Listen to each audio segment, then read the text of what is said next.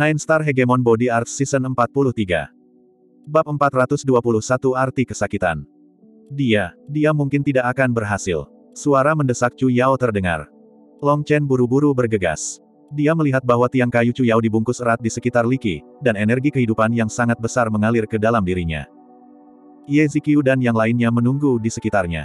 Song Mingyuan sudah mulai terisak. Keduanya selalu sedekat saudara kandung, dan melihat Liki seperti ini membuatnya merasa seperti pisau mengiris hatinya.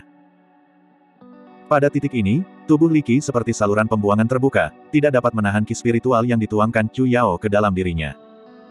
Pada saat ini, dia masih memiliki sedikit kesadaran yang tersisa karena energi Chu Yao. Tetapi dia sudah tidak memiliki energi kehidupan yang tersisa. Hanya mengandalkan energi luar, dia tidak akan bisa bertahan lama. Long Chen, bos, hehe, aku senang bisa bertemu denganmu, wajah Li Qi seputih kertas. Melihat Long Chen, dia memaksakan senyum sekecil apa pun. Long Chen, aku Chu Yao tidak dapat menarik Li Qi kembali dari tangan kematian. Mereka terlambat satu langkah. Jangan, merasa sedih. Aku hanya senang. Aku bisa bertemu bos lagi. Dan kalian semua baik-baik saja, ekspresi konten muncul di wajah Liki. Liki, kamu tidak bisa meninggalkan saudara-saudaramu, teriak Song Mingyuan. Tidak apa-apa, tak satu pun dari Anda harus merasa buruk. Dia tidak akan mati. Petik 2. Long Chen menarik napas dalam-dalam dan setetes cairan hijau muncul di tangannya. Ini adalah cairan kehidupan surgawi yang diberikan ahli dunia roh kepadanya sebelum pergi. Cairan ini sangat ajaib, tidak peduli seberapa serius lukanya, itu selalu bisa menyembuhkannya. Itu tidak pernah gagal sampai sekarang. Namun, setelah sekian lama, ini adalah tetes terakhirnya. Bahkan setelah dia terluka parah oleh kesengsaraan petir, Long Chen tidak mau menggunakannya. Liki sekarang sudah setengah langkah ke gerbang dunia bawah. Hanya setetes cairan surgawi ini yang mungkin bisa menyelamatkan hidupnya. Mengirim setetes ke mulut Liki, Liki segera pingsan, menyebabkan semua orang melompat. Energi hidupnya pulih. Seru Chu Yao. Dia adalah orang pertama yang merasakan bahwa percikan kehidupan Li Qi telah dinyalakan kembali. Energi kehidupan yang dia curahkan padanya tidak lagi hilang begitu saja. Long Chen mengangguk. Melihat mayat Guan Wenan, dia tidak bisa menahan nafas. Mereka benar-benar datang terlambat. Guan Wenan sudah meninggal. Saudara Guan mati untuk menyelamatkan saya. Saya pasti harus membalas permusuhan ini. Yue Zifeng, yang sangat jarang berbicara, berbicara dengan kejam sekarang. Mereka berempat sekarang sembuh berkat Chu Yao. Aura mereka tidak lagi begitu rendah, namun akan membutuhkan waktu untuk memulihkan kekuatan fisik mereka. Pertama, saya ingin memastikan sesuatu. Long Chen menamparkan salah satu terpilih. Tamparan ini memblokir saraf nyeri orang tersebut untuk sementara. Long Chen, selamatkan aku. Aku mohon, tolong, aku tidak tahan lagi. Si terpilih memohon dengan ekspresi ketakutan. Dia belum pernah mengalami rasa sakit seperti ini dalam hidupnya sebelumnya. Tingkat rasa sakit ini secara praktis cukup untuk membuat seseorang mati. Itu sudah melampaui batas dari apa yang bisa ditanggung oleh manusia. Menurut alasannya, begitu rasa sakit melampaui ambang tertentu, untuk menghindari rasa sakit itu, tubuh seseorang secara otomatis akan mati dan jatuh pingsan. Itu adalah metode pelestarian diri. Tapi tidak diketahui metode apa yang Long Chen gunakan untuk membuat mereka merasakan sakit yang luar biasa tanpa membiarkan mereka pingsan. Pingsan telah menjadi harapan boros yang tidak mungkin tercapai. Mereka akhirnya mengerti apa artinya sangat kesakitan hingga tidak ingin hidup. Bicaralah, siapa yang menghasutmu untuk melakukan ini? Tanya Long Chen. Jika aku memberitahumu, akankah kau membiarkanku pergi? Mata orang itu berbinar dengan sedikit harapan. Long Chen sekali lagi menamparnya dan dengan dingin berkata, kamu tidak memiliki kualifikasi untuk berdebat. Petik 2. Setelah tamparan itu, seluruh tubuhnya mulai bergerak-gerak, dan matanya hampir keluar. Dia sekali lagi mengalami rasa sakit itu lagi. Dengan tamparan lain di wajahnya, Long Chen dengan dingin berkata, kamu hanya memiliki satu kesempatan. Saya tidak suka mendengarkan omong kosong. Petik 2. Orang itu dipenuhi teror. Melihat kedua temannya yang tubuhnya terus bergerak-gerak di sampingnya, dia mulai menceritakan apa yang telah terjadi dengan sangat mendetail. Ketiga orang ini adalah antek dari biara pertama. Biara pertama adalah kekuatan yang sangat besar bahkan di dalam seluruh super monasteri.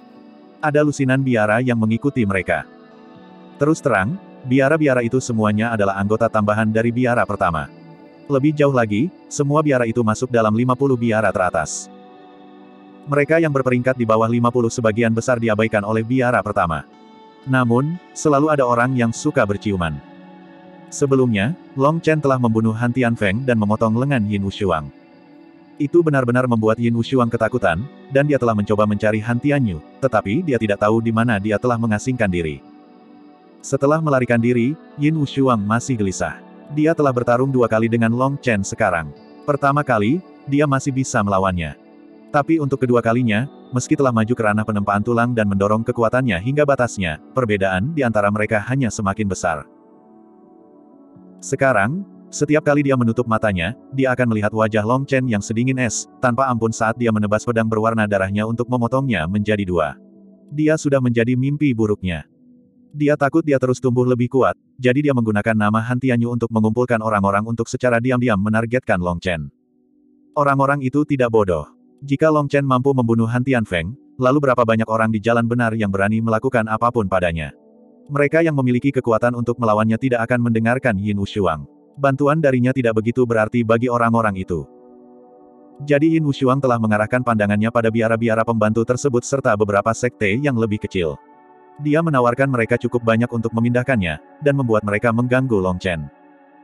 Dia tidak meminta mereka mencoba dan membunuhnya. Sebaliknya, mereka hanya harus terus mengawasinya dan membuat masalah kecil untuknya.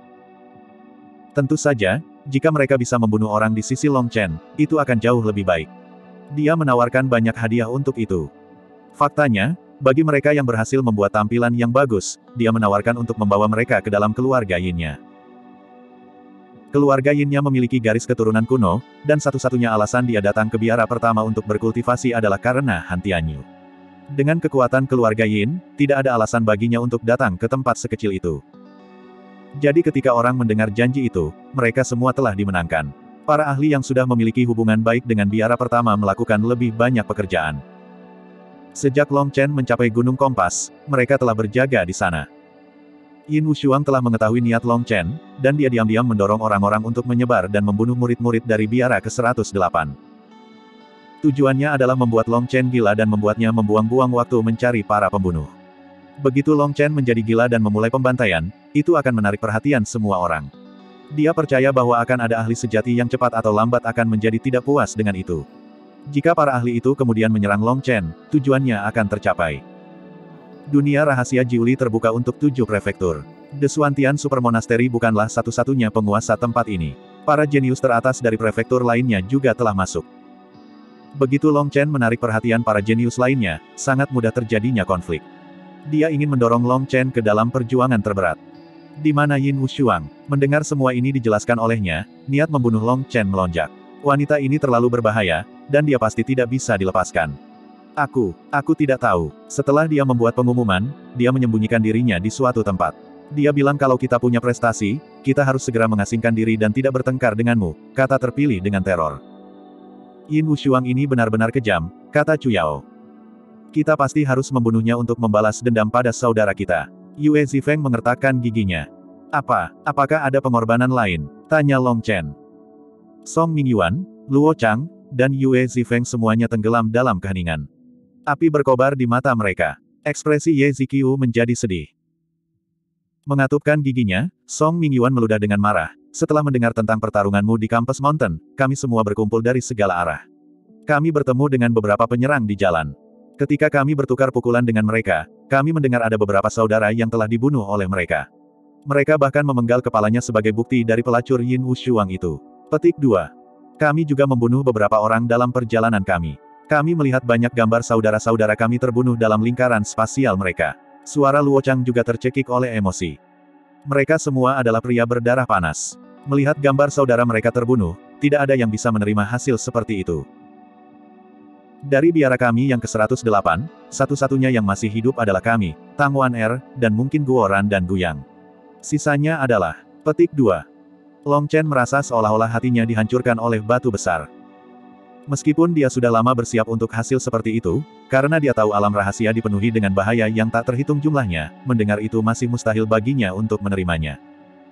Masing-masing dari orang-orang itu adalah saudara laki-lakinya. Untuk Song Mingyuan mengatakan ini, itu berarti dia benar-benar yakin orang-orang itu telah mati. Adapun detail pastinya, Long Chen tidak peduli untuk bertanya. Bagaimana mungkin dia bisa bertanya tentang bagaimana masing-masing dari orang-orang itu meninggal? Itu hanya siksaan. Aku akan serahkan ketiganya padamu. Kamu bisa menggunakan caramu sendiri untuk membunuh mereka, kata Long Chen. Bagus. Song Mingyuan, Li Qi, dan Yue Zifeng semua bangun pada saat yang sama, masing-masing membawa salah satu terpilih ke sudut terpencil. Hanya dua jam kemudian mereka berhenti. Wajah mereka menahan air mata dan sedikit senyum. Setelah mereka bertiga kembali, Chu Yao mengangkat tangannya, dan membuat peti mati dari tiang kayunya. Mereka menempatkan mayat Guan Wenan dengan lembut di dalam. Setelah peti mati disegel, suasana hati mereka menjadi sangat berat. Ayo pergi. Tujuan kita selanjutnya adalah balas dendam. Petik 2. Setelah menyelesaikan medan perang ini, Long Chen melihat ke langit yang jauh. Niat membunuh di matanya sudah menjadi padat. Bab 422 Pada saat Long Chen dan yang lainnya kembali ke Gunung Kompas, tanah sudah penuh dengan mayat, dan darah masih menetes perlahan. Guoran, Guyang, dan Su yang sibuk membersihkan medan perang. Mereka mengumpulkan cincin spasial serta memilih jarum yang tertancap di mayat. Itu semua adalah harta berharga Guoran yang harus dia kumpulkan kembali. Dia pintar dan sudah lama menaruh jejak spiritual pribadinya pada setiap jarum itu. Dia bisa dengan mudah merasakan lokasi mereka dalam jarak 300 meter. Hal-hal itu membutuhkan kerja keras yang berat untuk dia ciptakan. Kehilangan hanya satu dari mereka membuatnya kesakitan. Sejak pertempuran benar dan rusak sebelumnya ketika dia kehabisan amunisi, dia selalu fokus untuk menyimpan senjata yang cukup. Jadi biasanya, dia bahkan tidak mau kehilangan satu jarum pun. Saat ini, jarum yang baru saja mengotori tanah sudah dikumpulkan. Satu-satunya yang tersisa masih tertancap di tubuh orang. Dalam keadaan normal, dengan kekuatan mekanisme jarum yang dia gunakan, jarum tersebut akan dengan mudah menembus daging seseorang. Jarum yang menancap di tubuh ini biasanya sudah banyak yang menembus tubuh, atau bahkan dua tubuh sebelum tersangkut. Guoran, tinggalkan mereka. Terlalu sulit untuk mengeluarkan hal-hal ini, keluh Guyang. Mencabut jarum ini dari mayat benar-benar tidak menyenangkan. Bukan karena dia menganggap menyentuh mayat itu tabu, tapi mereka semua lengket dan tidak enak untuk diekstraksi. Kamu dan Su yang bisa istirahat. Aku akan menanganinya sendiri secara perlahan. Hehe, semua ini seperti anak-anak saya, dan saya tidak bisa membuangnya begitu saja, kata Guoran. Untuk menembak anak-anakmu sebanyak ini dalam satu waktu, kamu benar-benar ayah yang menarik. Gu yang menggelengkan kepalanya. Pembicara mengatakan itu secara tidak sengaja, tetapi pendengar mendengar arti lain itu. Guoran antara tertawa dan menangis, berkata, Gu Yang, kamu benar-benar menjadi vulgar. Petik 2. Hem, Gu Yang mengusap kepalanya, tidak mengerti. Dia akan mengatakan sesuatu ketika teriakan burung terdengar, dan sesosok tubuh besar turun dari langit. Bos telah kembali. Hehe, saudari Ye, saudara Ming Yuan, saudara Luo Chang, saudara Zifeng, lama tidak bertemu. Melihat mereka telah kembali, Guoran buru-buru memanggil salam. Setelah melihat semua orang bersama, suasana berat sebelumnya menjadi sangat ringan. Mendengar bahwa Guan Wenan dan yang lainnya telah mati, Guoran dan Gu yang semuanya dipenuhi dengan kesedihan. Begitu banyak dari mereka telah masuk, tetapi sekarang hanya beberapa orang ini yang masih hidup. Menyebut Yin Wushuang, tidak satu pun dari mereka yang tidak mengertakkan gigi karena marah. Pelacur itu terlalu penuh kebencian, dan mereka ingin mencabik-cabiknya. Baiklah, sudah cukup. Jalan kultivasi juga seperti itu. Tidak ada yang tahu siapa yang akan jatuh pada satu waktu. Yang penting adalah kita menghargai perasaan ini selama kita hidup. Mulai hari ini dan seterusnya, tujuan kami adalah balas dendam. Kami bersaudara tidak bisa takut mati, dan hutang darah harus dilunasi dengan darah, kata Long Chen. Bos, kami akan mendengarkanmu. Tapi siapakah musuh kita sebenarnya? Tanya Guoran. Dia tidak bisa sepenuhnya memahami apa yang Long Chen maksudkan dengan balas dendam. Kebencian apa yang menyebabkan Yin Wushuang menargetkan Long Chen seperti ini? Perilaku Long Chen selalu terbuka dan jujur, dan dia tidak pernah menyinggung perasaannya. Jadi mengapa dia terus-menerus memaksa Long Chen ke titik ini? Orang-orang sejati di balik layar adalah petinggi dari biara pertama. Adapun Yin Wushuang, dia hanyalah orang yang melaksanakan skema mereka. Tapi menurut tebakan saya, biara pertama mungkin hanya berencana menargetkan saya. Rencana awalnya mungkin untuk membunuhku segera setelah aku memasuki dunia rahasia. Adapun Yin Wushuang, dia bahkan lebih kejam, ingin saya menjadi batu loncatan bagi Han Tianyu. Dia terus-menerus mencoreng nama saya, mengubah saya menjadi penjahat keji. Kemudian, Han Tianyu, di bawah panji keadilan, akan membunuh saya, memberinya prestasi gemilang lainnya. Kemudian, situasi secara bertahap melampaui kendalinya, dan dia menyadari bahwa saya adalah masalah yang serius. Karena dia tidak bisa menemukanku, dia mulai mencari kalian semua. Dia ingin membunuhmu untuk memaksaku keluar. Saya berada dalam pengasingan saat itu, jadi saya tidak tahu apa yang terjadi di luar. Segera setelah saya keluar dari pengasingan, terjadilah pertarungan di kampus Mountain. Long Chen memberikan penjelasan sederhana tentang apa yang telah terjadi. Menurut analisisnya, jika itu hanya petinggi dari biara pertama, mereka pasti tidak akan membuatnya semewah itu. Menjaga agar tetap sederhana dan langsung lebih sesuai dengan temperamen seorang kultivator. Jika orang lain yang menangani masalah ini, dan mereka hanya menargetkan Long Chen, Long Chen tidak akan takut apa pun. Tetapi masalah ini telah mendarat di tangan Yin Wushuang, dan untuk menargetkan Long Chen, dia telah menargetkan orang-orang di sisinya. Itu adalah sesuatu yang tidak bisa ditoleransi oleh Long Chen. Tidak peduli apa, Yin Wushuang harus mati, kata Long Chen penuh kebencian. Tentu saja pelacur itu harus mati, atau saudara-saudara kita tidak akan bisa beristirahat dengan tenang. Niat membunuh Gu yang juga melonjak. Namun, Pelacur ini bersembunyi di suatu tempat sekarang, dan tidak berani menghadapi kita secara langsung. Kami tidak akan dapat menemukannya. Jika kita benar-benar mencoba untuk mencari dia secara acak, kita akan jatuh ke dalam jebakannya, dan bahkan mungkin diejek olehnya secara diam-diam. Jadi saat ini, hal terpenting bagi kami adalah meningkatkan kekuatan kami. Sebelum Hantianyu keluar dari pengasingan, kami akan meningkatkan kekuatan kami ke tingkat setinggi mungkin. Kemudian ketika saatnya tiba, kita akan melakukan pertempuran sengit, Long Chen memperingatkan. Jangan khawatir bos, selama pertempuran ini, tidak ada dari kita bersaudara yang akan takut. Kita semua akan membunuh sebanyak mungkin, kata Guoran dengan percaya diri. Long Chen mengangguk. Melihat medan perang ini, dia berkata, apakah ini mahakarya Anda? Benar, ini semua dilakukan oleh Guoran.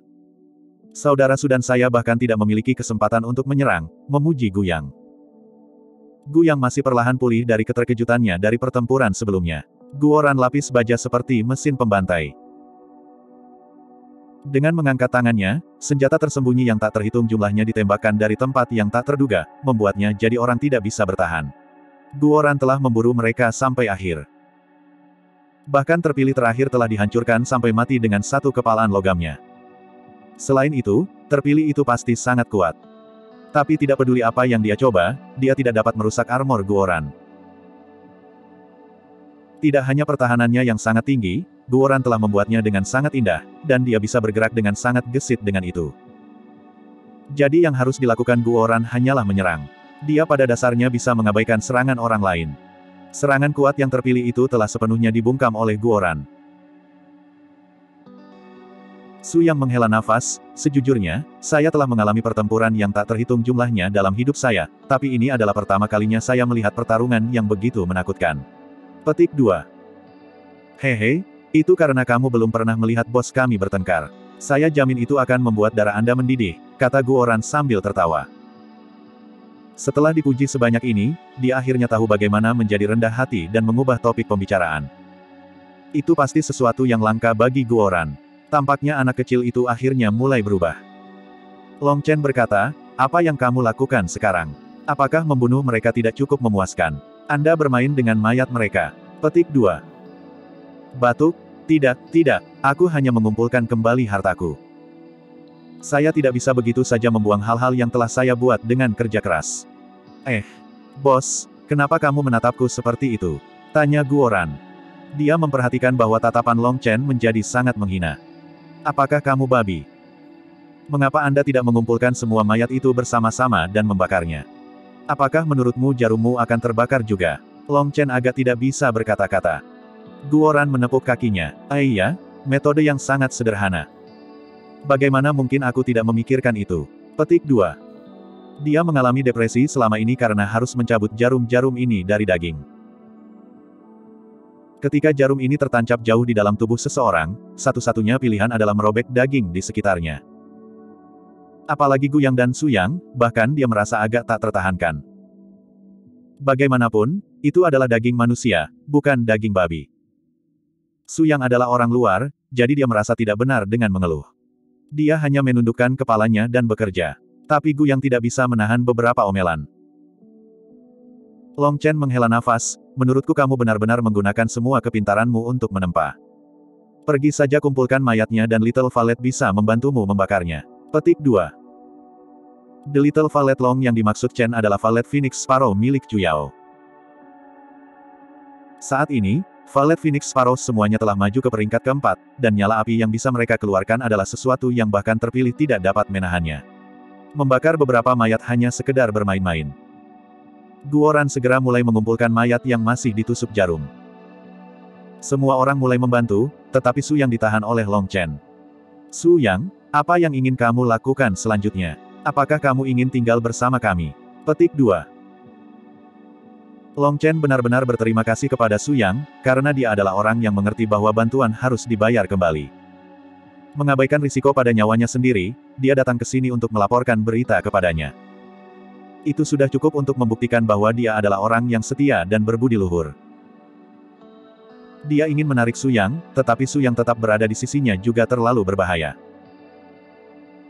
Meskipun ia memiliki kemampuan untuk menawarkan banyak sumber daya kultivasi, dibandingkan dengan bahaya itu, sumber daya tersebut tidak begitu berharga. Jadi Long Chen ingin mendengar pikiran Su Yang. Adapun Su Yang, diundang oleh Long Chen, matanya memerah. Siapa Long Chen? Dia adalah kuda hitam terhebat di alam rahasia, mampu berdiri bahu-membahu dengan ahli puncak, dan tak tertandingi di dalam kerajaannya. Fakta bahwa Long Chen mengundangnya untuk menjadi anggota berarti Long Chen memperlakukannya sebagai salah satu dari mereka. Kemuliaan macam apa itu? Tapi setelah kegembiraan singkat, dia menghela nafas, terima kasih saudara Long untuk rasa hormatmu. Tetapi saya berasal dari asal yang sederhana, dan saya masih belum membayar kembali hutang saya ke sekte saya. Saya tidak bisa meninggalkan mereka, jadi maafkan saya karena menolak. Petik 2. Long Chen mengangguk, memahami maksud Su Yang. Dia adalah seseorang yang datang dari sekte kecil, dan mengingat betapa banyak kebaikan yang telah diberikan sekte itu padanya, dia tidak bisa mengkhianati sekte itu dengan pergi untuk mengikutinya. Menurut apa yang dia ketahui tentang Su Yang, sangat mungkin sektenya telah menghabiskan banyak sumber daya untuk memberinya kuota untuk ranah rahasia Jiuli. Bagi sekte untuk mengirimnya masuk adalah pertaruhan sejati. Jadi Long Chen benar-benar bisa memahami kesulitannya. Tidak apa-apa, tidak peduli apa pun, kita semua bersaudara. Aku tidak punya sesuatu yang baik untuk diberikan kepadamu, tapi ini adalah 20 bon tempering pills dan 10 batu roh angin. Sebagai saudara, jangan menolak. Long Chen mendorong botol giok serta 10 batu roh angin ke Su Yang. Kakak Long, saya tidak bisa menerima ini, Su Yang punuk. Dia hanya pernah mendengar tentang Bon Tempering Pills. Tapi apa yang dia dengar adalah bahwa harganya sangat mahal. Selanjutnya, 10 batu roh angin ini setidaknya 10 kali lebih baik dari yang dia dapatkan di awal. Energi angin di dalamnya sangat murni. Sebagai saudara, jangan mengatakan hal yang tidak berguna. Karena saya memberikannya kepada Anda, ambillah saja. Anda mempertaruhkan hidup Anda untuk memberi saya informasi, yang menyelamatkan teman-teman saya dari malapetaka. Jika Anda tidak menerimanya, itu berarti Anda meremehkan saya. Long Chen sengaja berubah menjadi bermusuhan. Baiklah, kalau begitu aku akan menerimanya. Aku, Su Yang, tidak akan pernah melupakan kebaikan besar saudara Long. Su Yang dengan hormat membungkuk ke Long Chen sebelum pergi. Setelah Long Chen mengusir Su Yang, Li Qi, yang tidak sadarkan diri selama ini, akhirnya terbangun, menyenangkan semua orang. Setelah perayaan singkat itu selesai, Long Chen terus memurnikan pil, sementara yang lain bergantian antara menjaga dan menahan tulang mereka, semua dalam persiapan untuk bentrokan yang akan datang. Gu yang berkata bahwa Gu Oran punya nyali untuk membuang begitu banyak anaknya sekaligus. Tetapi kata untuk nyali juga berarti benih. Bab 423 banding 423 Berita pertempuran di Campus Mountain, serta berita Long Chen membunuh murid biara di Ngarai, bergema di seluruh dunia rahasia. Beberapa orang berlari untuk memastikan kebenarannya. Melihat mayat-mayat yang mengerikan itu, mereka semua ketakutan. Pada saat yang sama, banyak kritikus datang dari Long Chen, percaya Long Chen memiliki hati yang kejam dan metode yang kejam. Setelah membantai anggota dari jalan yang sama, dia bersalah atas kejahatan yang mengerikan. Namun, kata-kata seperti itu hanya bisa diucapkan di belakang punggungnya.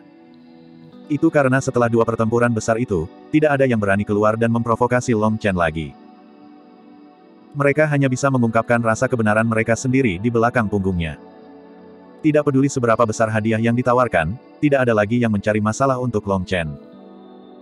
Adapun tangan di balik tirai yang terus-menerus mendorong orang, itu menjadi tidak berdaya. Salah satu alasannya adalah karena masalah seseorang yang dengan sengaja menargetkan Long Chen sudah menjadi rahasia umum. Sebagai pembudidaya, berapa banyak orang yang begitu bodoh? Mayoritas orang telah melihat apa yang telah terjadi.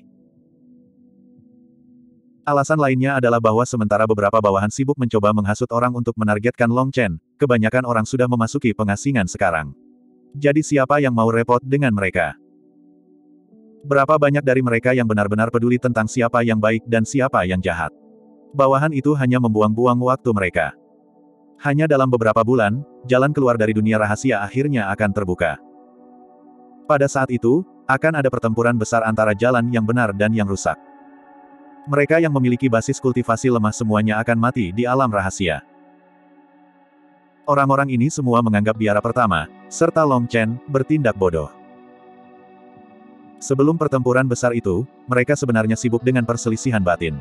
Jika itu tidak bodoh, lalu apa? Jadi sebagian besar ahli jalan benar semuanya hanya mengejek upaya Yin Wushuang untuk menyebarkan propagandanya. Adapun ahli jalur rusak, mereka telah lama menghilang ke dalam pengasingan. Mereka fokus pada pertempuran terakhir itu. Mereka tidak menyukai perselisihan batin. Jika jalan yang benar ingin bertarung di antara mereka sendiri, maka itu tidak masalah. Mereka akan fokus pada peningkatan kekuatan mereka, dan ketika saatnya tiba, mereka akan membantai para murid yang benar. Pada akhirnya, bukankah harta karun yang telah dipertaruhkan oleh murid-murid adil dalam nyawa mereka akan berakhir di saku mereka? Yin Wushuang memiliki sekelompok orang yang menyebarkan propagandanya, tetapi semua orang sudah mengasingkan diri. Kepada siapa mereka menyebarkan propaganda itu? Bukannya mereka bisa berteriak sekeras mungkin sepanjang hari. Jika mereka akhirnya mengganggu pengasingan seorang ahli, mereka mungkin akan langsung dibunuh. Setelah mencoba menghasut lebih banyak orang selama dua hari tanpa hasil apa pun, Yin Wushuang hanya bisa menyerah tanpa daya. Orang-orangnya semua mengasingkan diri. Jadi ini adalah waktu paling tenang di alam rahasia Jiuli. Selain beberapa ahli yang kurang ajar atau beberapa penjahat yang melarikan diri lebih dalam ke dunia rahasia, pada dasarnya semua orang telah memasuki pengasingan dan mulai meremukkan tulang mereka. Adapun murid-murid yang datang dari asal-usul yang sederhana dan tidak memiliki bon tempering pills untuk digunakan, satu-satunya hal yang dapat mereka lakukan adalah fokus pada peningkatan basis kultivasi mereka, ingin menggunakan alam mereka untuk menebus kekurangan tulang temper. Meskipun itu tidak terlalu efektif, itu lebih baik daripada tidak melakukan apa-apa. Pertempuran terakhir itu harus dilakukan dengan hidup dan mati semua orang. Tidak peduli berapa banyak harta yang mereka peroleh di dunia rahasia, jika mereka tidak bisa pergi, itu tetap tidak berguna. Selama waktu ini, Long Chen masih fokus siang dan malam pada pil penyulingan. Saat ini, satu-satunya orang yang menjaga mereka adalah Guoran. Setiap kali seseorang secara sembunyi-sembunyi berusaha memata-matai mereka, Guoran akan menyingkirkan mereka dengan satu panah. Mereka yang masih fokus pada mereka saat ini pasti menjadi musuh. Jadi Guoran sekarang seperti pemburu dengan sabar menunggu kelinci mengambil umpan. Tapi setelah membunuh beberapa orang, seminggu berlalu tanpa dia membuat panen lagi. Dia mulai merasa bosan. Meskipun melihat pil penyulingan Long Chen adalah sesuatu yang sangat menyenangkan untuk dilihat, tidak peduli betapa menakjubkannya untuk ditonton, setelah melihatnya lusinan atau bahkan ratusan kali sehari, seseorang masih akan bosan. Bos, berapa banyak lagi sampai kamu selesai memperbaiki? Tidak banyak. Saat ini kami sudah memiliki 6.000 bon tempering pills. Setelah dua hari lagi, semua bahan obat akan habis, jawab Long Chen. Setelah memurnikan siang dan malam, Long Chen telah mengumpulkan lebih banyak pil obat. Namun, ramuan obatnya hanya berkurang.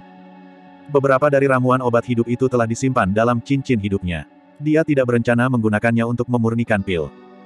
Bagaimanapun, ramuan obat hidup seratus kali lebih berharga daripada yang mati.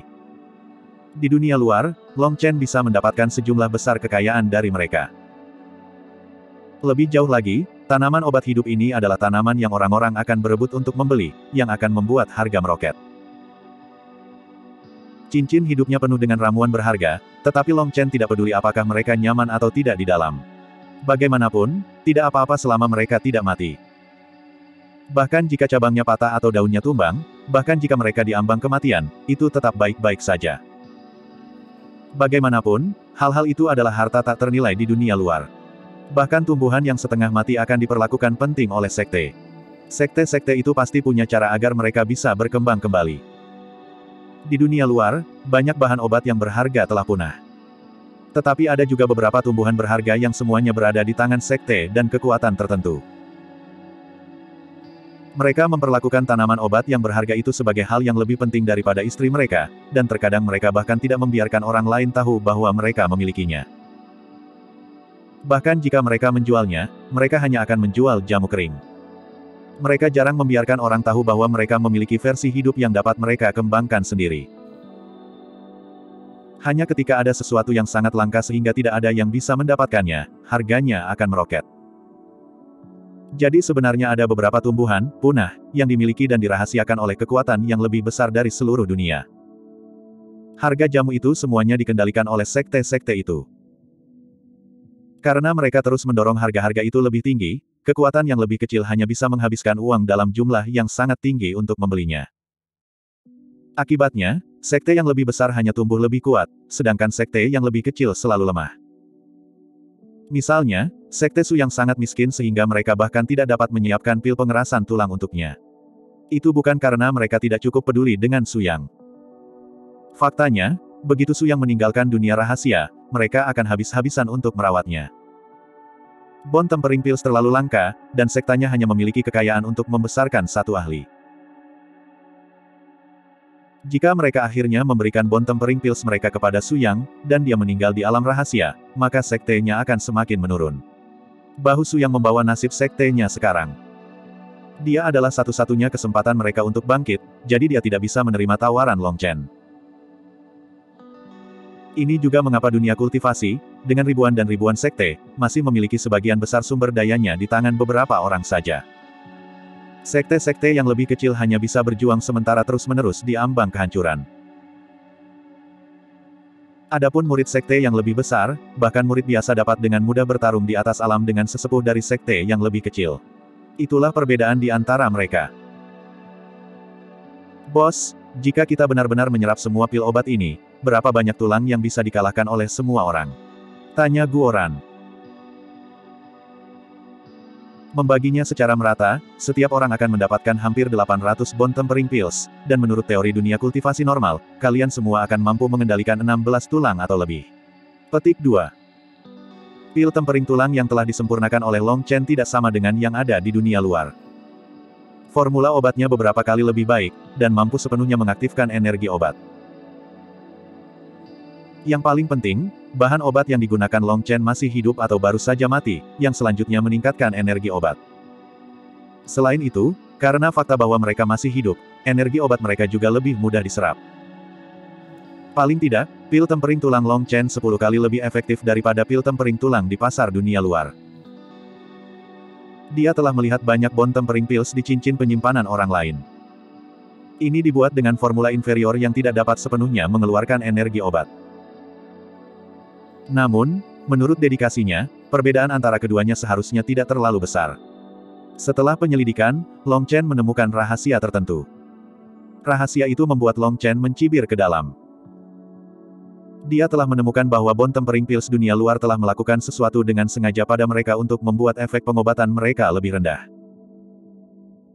Pada awalnya, dia mengira bahwa siapa pun yang melakukan ini pasti menderita gangguan jiwa. Apa gunanya mengubah pil obat yang baik menjadi sampah?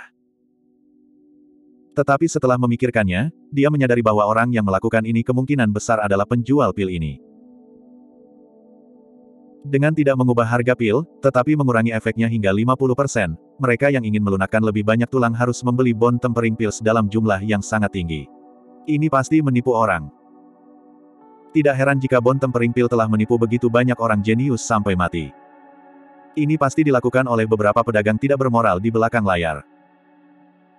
Lebih jauh lagi, dia telah menemukan bahwa ini benar baik untuk jalan yang benar maupun yang rusak. Semua bon tempering pills memiliki efeknya dipotong menjadi dua. Namun, tidak mungkin untuk memperhatikan ini.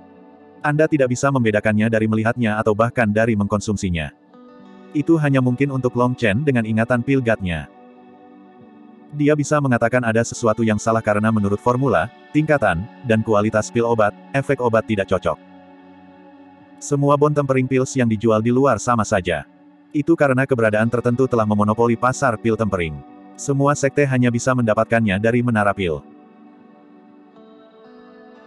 Dan dengan demikian, Long Chen telah sampai pada kesimpulan tertentu, di bawah kemiripan luar sebagai tanah suci, menara pil sebenarnya adalah sekelompok serigala yang teduh. Tapi paling tidak, mereka adil tentang itu. Mereka sama-sama menipu jalan yang benar dan yang rusak. Jika tidak, jika mereka hanya menipu jalan yang benar tetapi tidak dengan jalan yang rusak, jalan yang benar pasti akan hancur. Ketika dia memikirkan itu, Long Chen menyadari sesuatu. Dengan jalan yang benar dan jalan yang rusak terus-menerus berjuang, dan menara pil mengambil posisi netral, menjual pil obat kepada semua orang, bukankah partai yang paling diuntungkan adalah menara pil? Baik jalan benar maupun korup tidak berani menyinggung perasaan mereka karena takut kehilangan akses ke pil obat. Itu sangat lucu. 16 tulang. Bukankah itu level pemimpin sekte? Astaga. Kalau begitu, bukankah kita bisa menyapu seluruh dunia rahasia? Guoran dipenuhi dengan ketidakpercayaan. Setiap tulang ekstra yang Anda tempelkan akan sangat meningkatkan jumlah energi yang dapat disimpan di dalam tulang. Itu akan membuat seseorang menjadi luar biasa kuat. Tempering 16 tulang praktis adalah sesuatu yang hanya dia dengar dalam legenda. Jangan terlalu cepat bersemangat. Saya mengatakan bahwa di bawah proses tempering tulang yang normal, Anda akan mampu mengendalikan 16 tulang. Tapi karena kita semua telah memilih temper lengkap, pil ini paling banyak bisa membuat kita melunakkan empat tulang, kata Long Chen. Ah, apa? Guoran tergagap. Perbedaan antara empat tulang dan 16 tulang terlalu besar. Tidak ada jalan lain. Untuk menjalani temper lengkap, setiap kali Anda melunakkan satu tulang, Anda juga harus melewati setiap tulang di tubuh Anda. Itulah satu-satunya cara untuk memastikan setiap tulang mengalami temperamen. Pil penghubung tulang yang Anda konsumsi menciptakan saluran energi di dalam setiap tulang Anda. Anggaplah tulang yang Anda coba kendorkan adalah pengemis, dan Anda mencoba memberinya roti. Tetapi untuk memberi makan pengemis itu, pertama-tama Anda harus memberi makan 205 pengemis yang ada di depannya. Anda harus membuat putaran Anda melalui masing-masing sebelum mencapai yang terakhir. Apakah kamu mengerti? Long Chen tersenyum. Bab 424. Tidak mungkin. Apakah ini dibesar-besarkan? Guoran tercengang. Ini tidak sedikit pun dibesar-besarkan. Hanya dengan cara inilah mungkin untuk melunakkan setiap tulang di tubuh. Dengan setiap tulang, Anda juga harus melunakkan semua tulang lainnya, kata Long Chen. Kalau begitu, bukankah butuh puluhan tahun untuk menjalani penempaan total? Guoran merasa sedikit putus asa. Dia sudah makan pil penghubung tulang, dan dengan demikian menghubungkan semua tulangnya. Dia tidak punya pilihan selain menjalani temper total pada tahap ini. Anda mengekstrapolasi menurut standar normal. Untuk pembudidaya lain, untuk setiap tulang yang Anda temper, harganya dua kali lipat dari waktu sebelumnya, dan waktu yang dibutuhkan untuk meredamnya juga berlipat ganda. Bagi mereka, untuk meredam delapan tulang membutuhkan waktu lebih dari setahun. Tempering tulang tingkat pertama membutuhkan setidaknya tiga tahun. Tapi kami tidak sama. Bagi kami, setiap tulang yang kami temper membutuhkan waktu yang sama. Jika diperlukan waktu 3 hingga 5 hari untuk melembutkan tulang pertama, dibutuhkan 3 hingga 5 hari untuk melembutkan setiap tulang. Faktanya, begitu kita mencapai akhir, kita akan meredam mereka lebih cepat dan lebih cepat.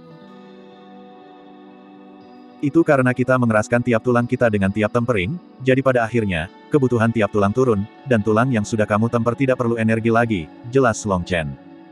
Oh, lalu aku lega, kamu benar-benar membuatku takut sekarang.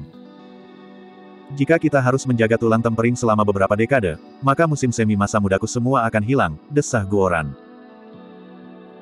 Tapi setelah kamu selesai menempa setiap tulang, kamu harus menjalani satu tempering total terakhir. Temperamen total itu akan sedikit menyakitkan. Melihat ekspresi Guoran tiba-tiba berubah, Long Chen tertawa, ini tidak seperti yang kamu pikirkan.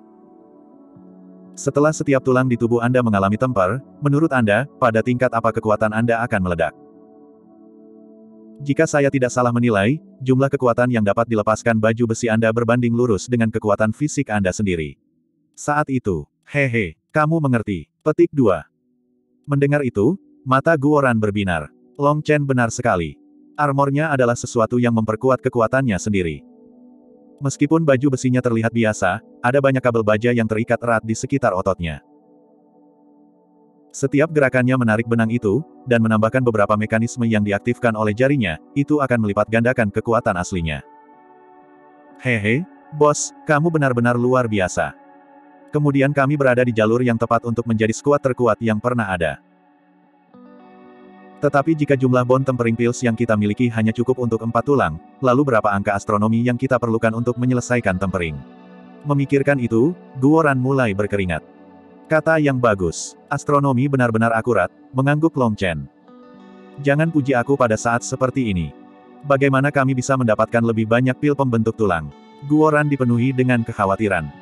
Akan selalu ada jalan, apakah kamu belum menyadarinya? Saat basis kultivasi kita meningkat secara bertahap, musuh yang kita temui juga tumbuh lebih kuat. Jika kita berkultivasi seperti orang biasa, hidup kita pasti akan menjadi sangat sengsara di masa depan. Jalan kultivasi memang kejam. Setelah Anda melangkah ke atasnya, jangan pernah berpikir untuk melarikan diri. Masalah akan selalu datang menemui kita. Jadi kita harus memikirkan cara apa pun yang kita bisa untuk menjadi lebih kuat. Hanya dengan begitu kita bisa hidup dengan bermartabat, Long Chen mendesah. Saya mengerti bos, tidak ada jalan mundur bagi kami lagi, Guoran mengangguk. Ngomong-ngomong, menurutmu apakah aku harus menjadikan Wilde satu set baju besi? Jika saya mulai sekarang, maka saya harus bisa menyelesaikannya sebelum pintu keluar dunia rahasia terbuka. Dengan kekuatan Wilde, hehe. Petik 2. Jika dia membuat satu set baju besi untuk Wilde, maka dengan kekuatan abnormal Wilde, dia pasti akan menjadi pembunuh seperti dewa. Apa menurutmu Wilde sepertimu, dan mengerti bagaimana menggunakan kontrol dan manuver itu? Kapan kamu akan mulai menggunakan kepalamu? Petik 2. Oh saya lupa. Guoran menepuk kepalanya karena malu. Dengan kecerdasan Wilde, membuatnya belajar bagaimana mengendalikan jenis baju sirahnya akan sangat menantang surga.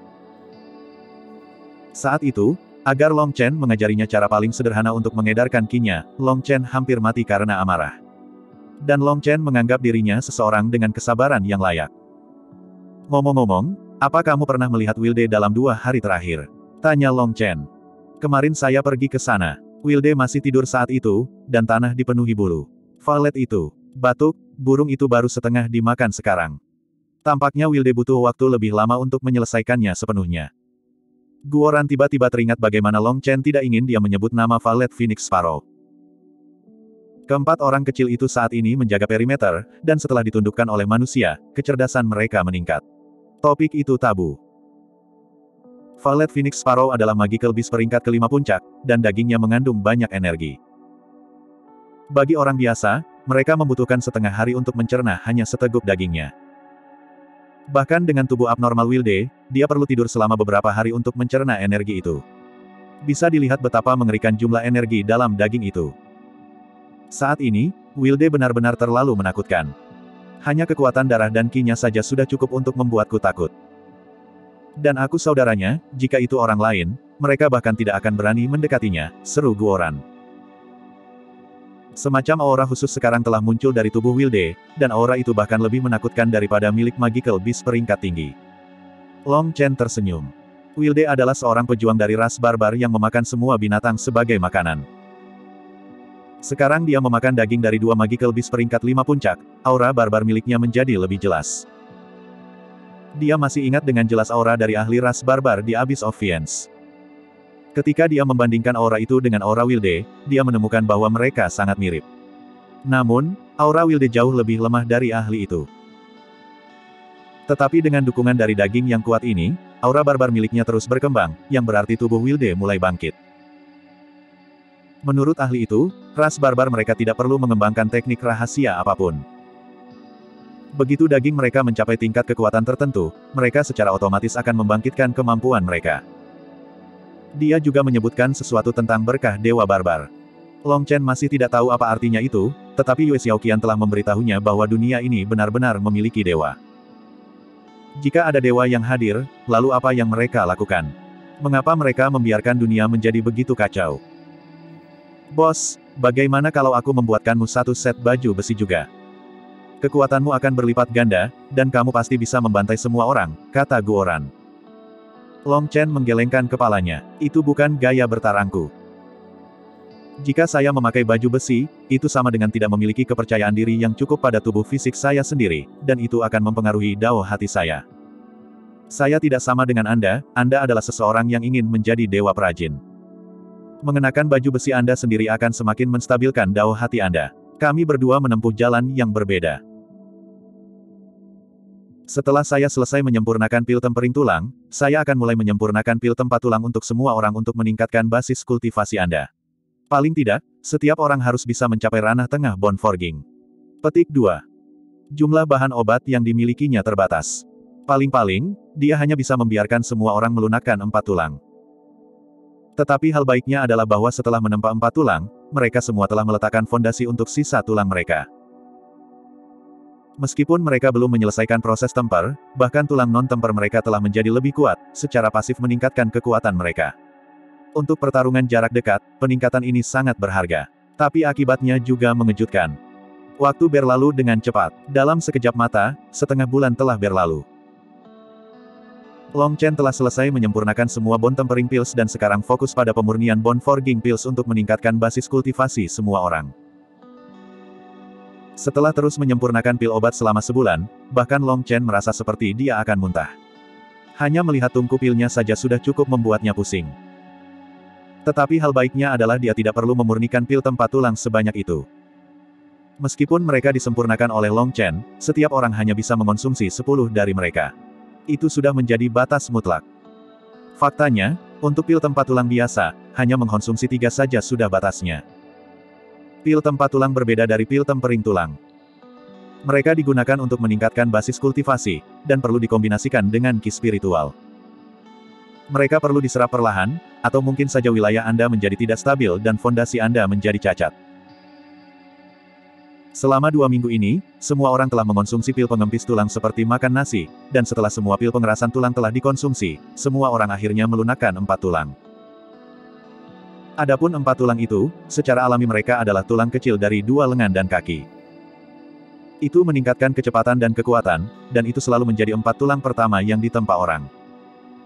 Pengalaman berjuta-juta telah memberitahu semua orang bahwa keempat tulang itu adalah yang terbaik. Setelah menyelesaikan penempaan tulang, Long Chen menyuruh semua orang beristirahat selama beberapa hari untuk menstabilkan energi obat di tulang mereka sebelum meningkatkan basis kultivasi mereka.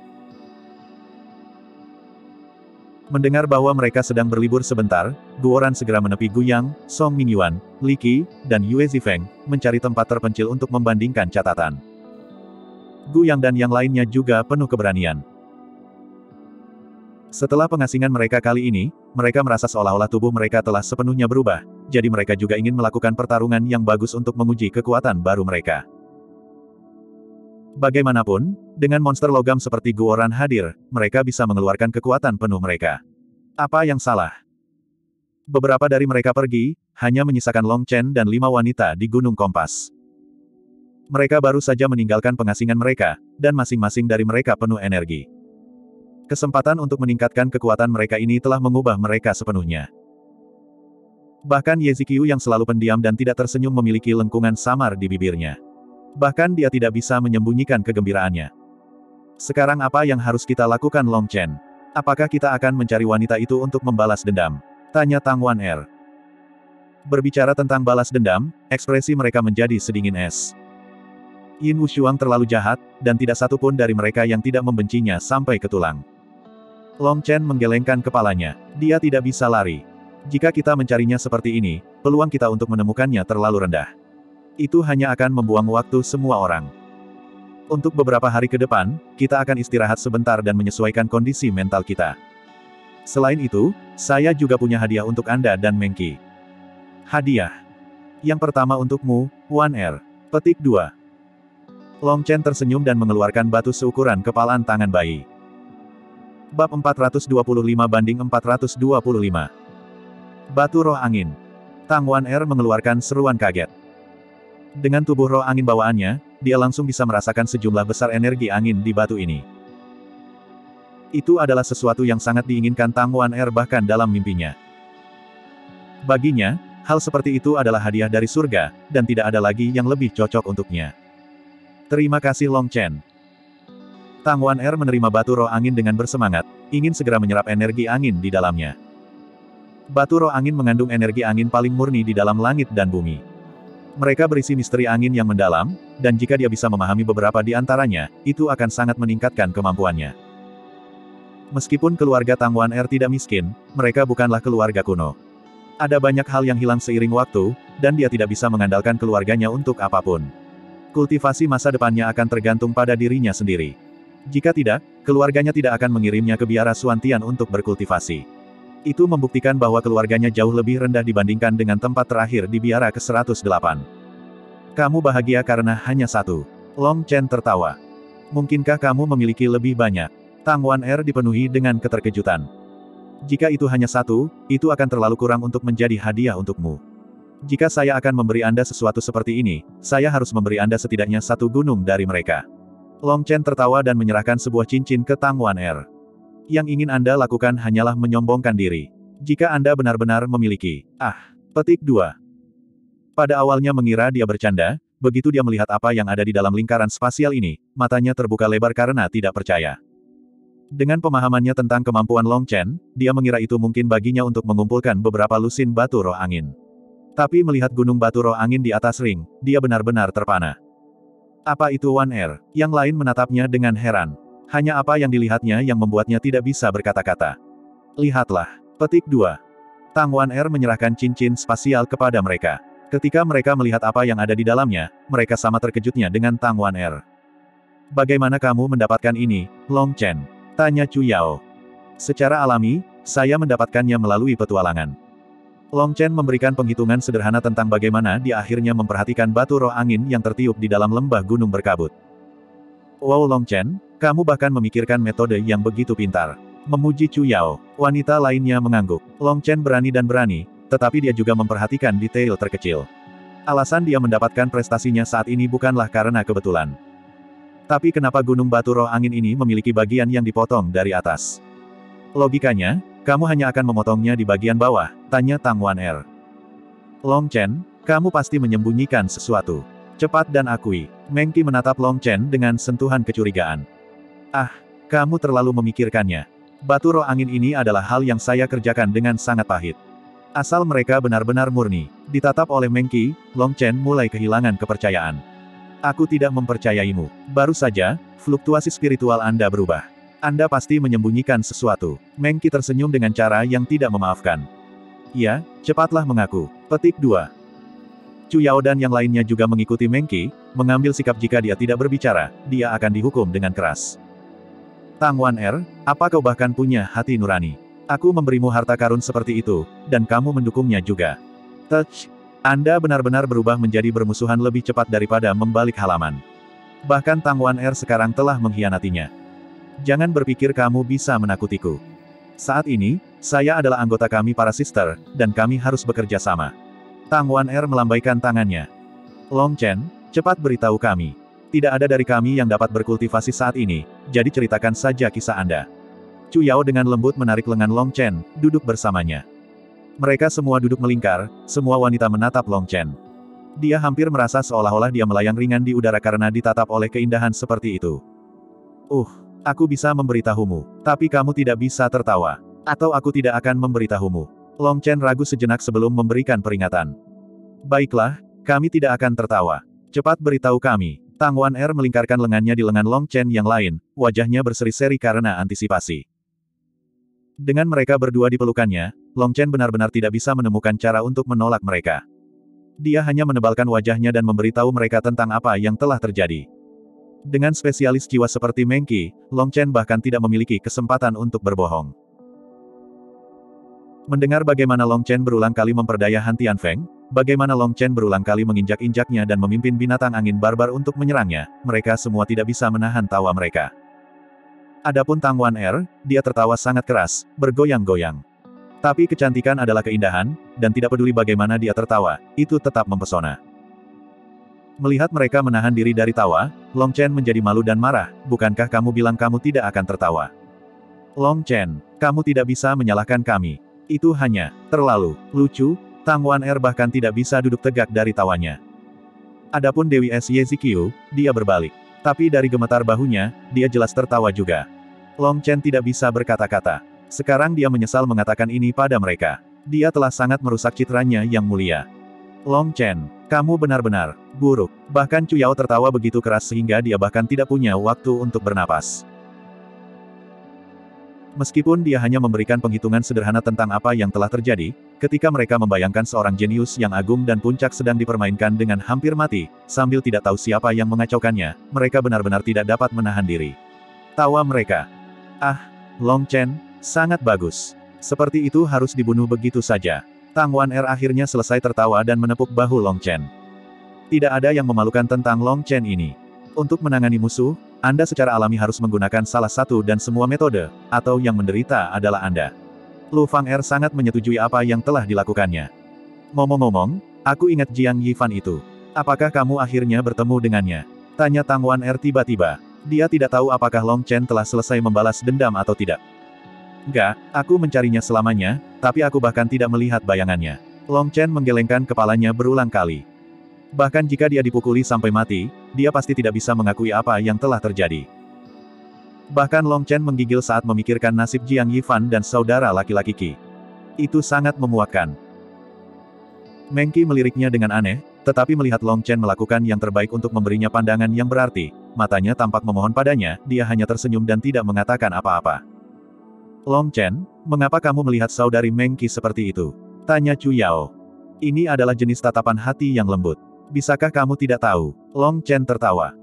Ungkapannya ini terlalu ambigu dan genit, menyebabkan semuanya tersipu. Meng Qi bahkan tidak berani melihat yang lain sekarang. Melihat satu kalimat itu cukup untuk menghentikan serangan mereka padanya, Long Chen menghela nafas, mengutuk dirinya sendiri karena bodoh. Jika dia tahu bahwa itu akan sesederhana ini, apa yang harus dia minta? Wan Er, simpan sendiri batu roh angin itu. Saya tahu Anda tidak dapat menggunakan semuanya, tetapi jagalah saja. Saat ini, yang perlu Anda lakukan hanyalah menyerap energi paling murni dari batu roh angin untuk meningkatkan pemahaman angin Anda dengan cepat. Itu akan membawa manfaat besar bagi kultivasi Anda. Karena tidak ada orang lain yang mengatakan apa-apa, Long Chen membawa percakapan kembali ke masalah yang tepat. Tapi itu akan menghabiskan banyak sekali energi mereka, kata Tang Wan Er. Batu roh angin mengandung energi yang sangat besar, tetapi energi itu tidak sepenuhnya murni. Hanya sebagian yang bisa diserap. Kebanyakan pembudidaya akan menyerap semua energi batu roh angin ke dalam tubuh mereka, dan kemudian mereka akan mengeluarkan kotoran.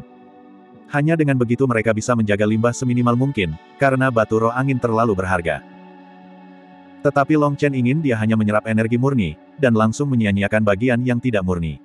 Itu berarti dia akan menolak lebih dari 90% energinya. Itu benar-benar boros, dan praktis menyia-nyiakan harta alam. Jika itu sia-sia, maka itu sia-sia. Saat ini, Waktu lebih penting. Saat pintu keluar terbuka, pasti akan membawa pertempuran berdarah. Setiap kekuatan kecil adalah kesempatan yang lebih besar untuk bertahan hidup, kata Long Chen. Baiklah, saya mengerti. Tang Wan Er mengangguk. Ini adalah periode waktu yang sangat mendesak. Melihat anggukannya, Long Chen tahu dia tidak perlu khawatir tentang itu lagi. Tang Wan Er adalah gadis yang sangat bijaksana, dan dia tidak perlu mengkhawatirkan hal-hal yang telah dijanjikan padanya. Mengki, ini adalah hadiahmu. Long Chen mengeluarkan halaman emas. Baik Chu Yao dan Ye Ziqiu mengeluarkan seruan kaget. Mereka hadir ketika Long Chen menyelamatkan Ye Ziqiu dan yang lainnya. Dia hanya menggunakan halaman emas ini untuk membunuh semua penyerang itu. Itu sangat tajam, dan semua senjata dan baju besi telah menjadi lemah seperti kertas di depannya. Pemandangan cahaya keemasannya yang membawa hujan darah masih segar dalam ingatan mereka. Long Chen ini, Mengki dikejutkan oleh reaksi Chu Yao dan Ye Ziqiu. Ini adalah item jiwa, kata Long Chen. Item jiwa. Mengki berteriak kaget. Sebagai seorang kultivator jiwa, dia secara alami tahu apa itu. Bahkan di pavilion roh angin, mereka sangat langka dan berharga. Long Chen. Mengki baru saja akan menolak saat Long Chen dengan sungguh-sungguh berkata, sekarang bukan waktunya untuk bersikap sopan. Dari semua orang yang hadir, kaulah yang paling cocok dengan item jiwa ini. Menggunakan item jiwa mengharuskan Anda untuk menggunakan kekuatan spiritual Anda, tapi Chu Yao, Ye Ziqiu, Wan Er, dan saya sendiri semuanya adalah petarung. Kita tidak bisa bertarung sambil memecah perhatian kita untuk menggunakannya. Hanya Anda dan Lu Fang Er yang dapat menggunakannya secara maksimal, sementara Anda adalah orang yang memiliki energi jiwa terkuat di sini. Dengan Anda mengendalikannya, pada saat kritis, Anda dapat langsung membunuh ahli. Ini adalah jimat penyelamat hidup seluruh tim kami. Tapi sebenarnya, ini bukanlah item jiwa sejati, jadi penggunaannya terbatas. Anda harus terus menggunakan jiwa Anda untuk memeliharanya dan menjalin hubungan dengannya. Bahkan aku tidak tahu bagaimana tepatnya benda ini harus digunakan, jadi terserah padamu untuk mengetahuinya, Long Chen tersenyum. Setelah membagikan dua harta karun ini, semua orang sekali lagi mulai berbicara dan tertawa. Meskipun Ye Ziqiu tidak tersenyum atau berbicara, jejak kehangatan muncul di matanya. Waktu santai ini berlalu begitu saja. Tiga hari kemudian, saat semua orang berkumpul untuk masuk ke pengasingan lagi, seorang tamu asing datang. Bab 426 Tamu yang langka. Siapa yang mengira bahwa saudari Hua Biluo akan datang menemui saya di sini? Petik 2. Ada dua orang di dalam tenda. Di depan Long Chen adalah seorang wanita langsing dengan gaun ungu. Wanita ini adalah ahli nomor satu biara kedua, Hua Biluo. Long Chen terkejut melihatnya sekarang. Mengki dan yang lainnya sengaja mengosongkan tenda, hanya menyisakan mereka berdua. Hua Biluo tersenyum. Untuk dengan kasar muncul tanpa diminta, maafkan aku saudara Long. Petik 2. Tolong duduk. Long Chen melambaikan tangannya. Ada meja dan dua kursi di tenda yang telah disiapkan Guoran. Sister Biluo, saya orang yang cukup kasar, jadi tolong jangan salahkan saya karena tidak tahu etiket. Petik 2. Hua Biluo dengan lembut mengibaskan gaunnya dan duduk. Gerakannya sangat anggun dan santai. Ada jenis udara tertentu di sekitar Hua Biluo yang membuatnya tampak sangat tenang dan anggun, yang secara naluriah akan membuat seseorang merasa rileks. Tapi Long Chen tidak menyukainya. Itu adalah semacam tingkah laku yang mulia. Itu bisa dianggap sebagai pencapaian di dunia sekuler. Tetapi di dunia kultivasi, tingkah laku artifisial semacam ini dapat dijelaskan dengan satu kata postur. Long Chen tahu bahwa Hua Biluo tidak melakukan ini dengan sengaja. Ini adalah sesuatu yang bawaan baginya, dan jika tebakannya tidak salah, asal-usulnya pasti tidak sederhana. Kakak magang senior Long Chen sopan. Pria harus terbuka dan jujur, hidup bebas dan tidak terkekang. Sejujurnya, saya sangat mengagumi Anda. Hua Biluo tersenyum anggun, senyuman yang sangat bisa menggerakkan seseorang. Dapat dikatakan bahwa Hua Biluo sangat indah. Ada beberapa pria yang tidak menyukainya. Kebanggaan pada tulang-tulangnya terutama akan menyebabkan seorang pria merasakan kerinduan yang kuat. Itu seperti seekor kuda. Semakin sombong seekor kuda, semakin besar keinginan Anda untuk menaklukkannya. Sister Biluo meremehkan saya. Karena Anda suka berterus terang, maka saya juga tidak akan peduli dengan etiket. Mengapa Anda datang untuk menemukan saya? Tanya Long Chen. Hua Biluo sedikit terkejut dengan betapa langsungnya Long Chen. Dia telah melewatkan semua sopan santun itu, sampai pada poin utama bahkan tanpa menuangkan secangkir teh untuknya. Namun, dia dengan cepat bereaksi dan tersenyum. Ya, alasan saya datang ke sini adalah untuk membentuk aliansi dengan Anda. Petik 2. Hua Biluo sangat cerdas, dan setelah pertukaran singkat ini, dia sudah bisa mengetahui karakter Long Chen. Mengetahui dia tidak suka berbelit-belit, dia juga langsung ke intinya. Aliansi macam apa? Anda ingin menangani Han Tianyu bersama? Petik 2. Iya, saya yakin Anda tahu bahwa biara pertama telah menargetkan Anda sejak Anda memasuki dunia rahasia. Mereka membuat lapisan jebakan, terus-menerus meningkatkan keburukan Anda. Yin Wushuang itu sangat menjijikkan, bahkan menempatkan targetnya pada orang-orang di samping Anda ketika dia tidak bisa menangani Anda. Orang seperti itu adalah sampah dari jalan yang benar. Sayangnya, saudari junior ini tidak cukup kuat sendirian untuk menangani biara pertama, dan hanya bisa menyaksikan saudara Long harus menderita ketidakadilan. Petik 2. Melihat ekspresi permintaan maafnya, Long Chen tersenyum sedikit. Sister Biluo, kami berdua tidak bodoh. Karena Anda ingin berkolaborasi, bukankah seharusnya Anda menunjukkan ketulusan? Ya, biara pertama menargetkan saya. Saya percaya biara kedua Anda pasti tahu keseluruhan ceritanya. Tapi alasan Anda hanya menonton daripada melakukan apa pun adalah untuk melihat berapa banyak kartu truf yang saya miliki, dan apakah saya layak menarik ke sisi Anda atau tidak. Hanya setelah saya menunjukkan kekuatan yang cukup untuk menggerakkan Anda, Anda mulai memihak dan memprotes ketidakadilan saya. Petik 2. Petik 2 titik. Setelah pikirannya dilihat oleh Long Chen, ekspresi Hua Biluo berubah sedikit. Kata-katanya terlalu langsung, dan dia mendapati dirinya ditempatkan di tempat. Sister Biluo, saya tidak memiliki niat lain dengan mengatakan hal-hal ini. Saya hanya ingin memberitahu Anda bahwa jika kita ingin membentuk aliansi, kita berdua harus tulus. Kita tidak bisa menyembunyikan sesuatu dari satu sama lain, atau saat kita menghadapi musuh kita bersama, kita akan saling curiga. Jika kita hanya menipu satu sama lain, tidak ada gunanya, kata Long Chen. Aku benar-benar harus tersipu malu tentang masalah itu. Wajah Hua Biluo sedikit memerah. Long Chen sepenuhnya benar.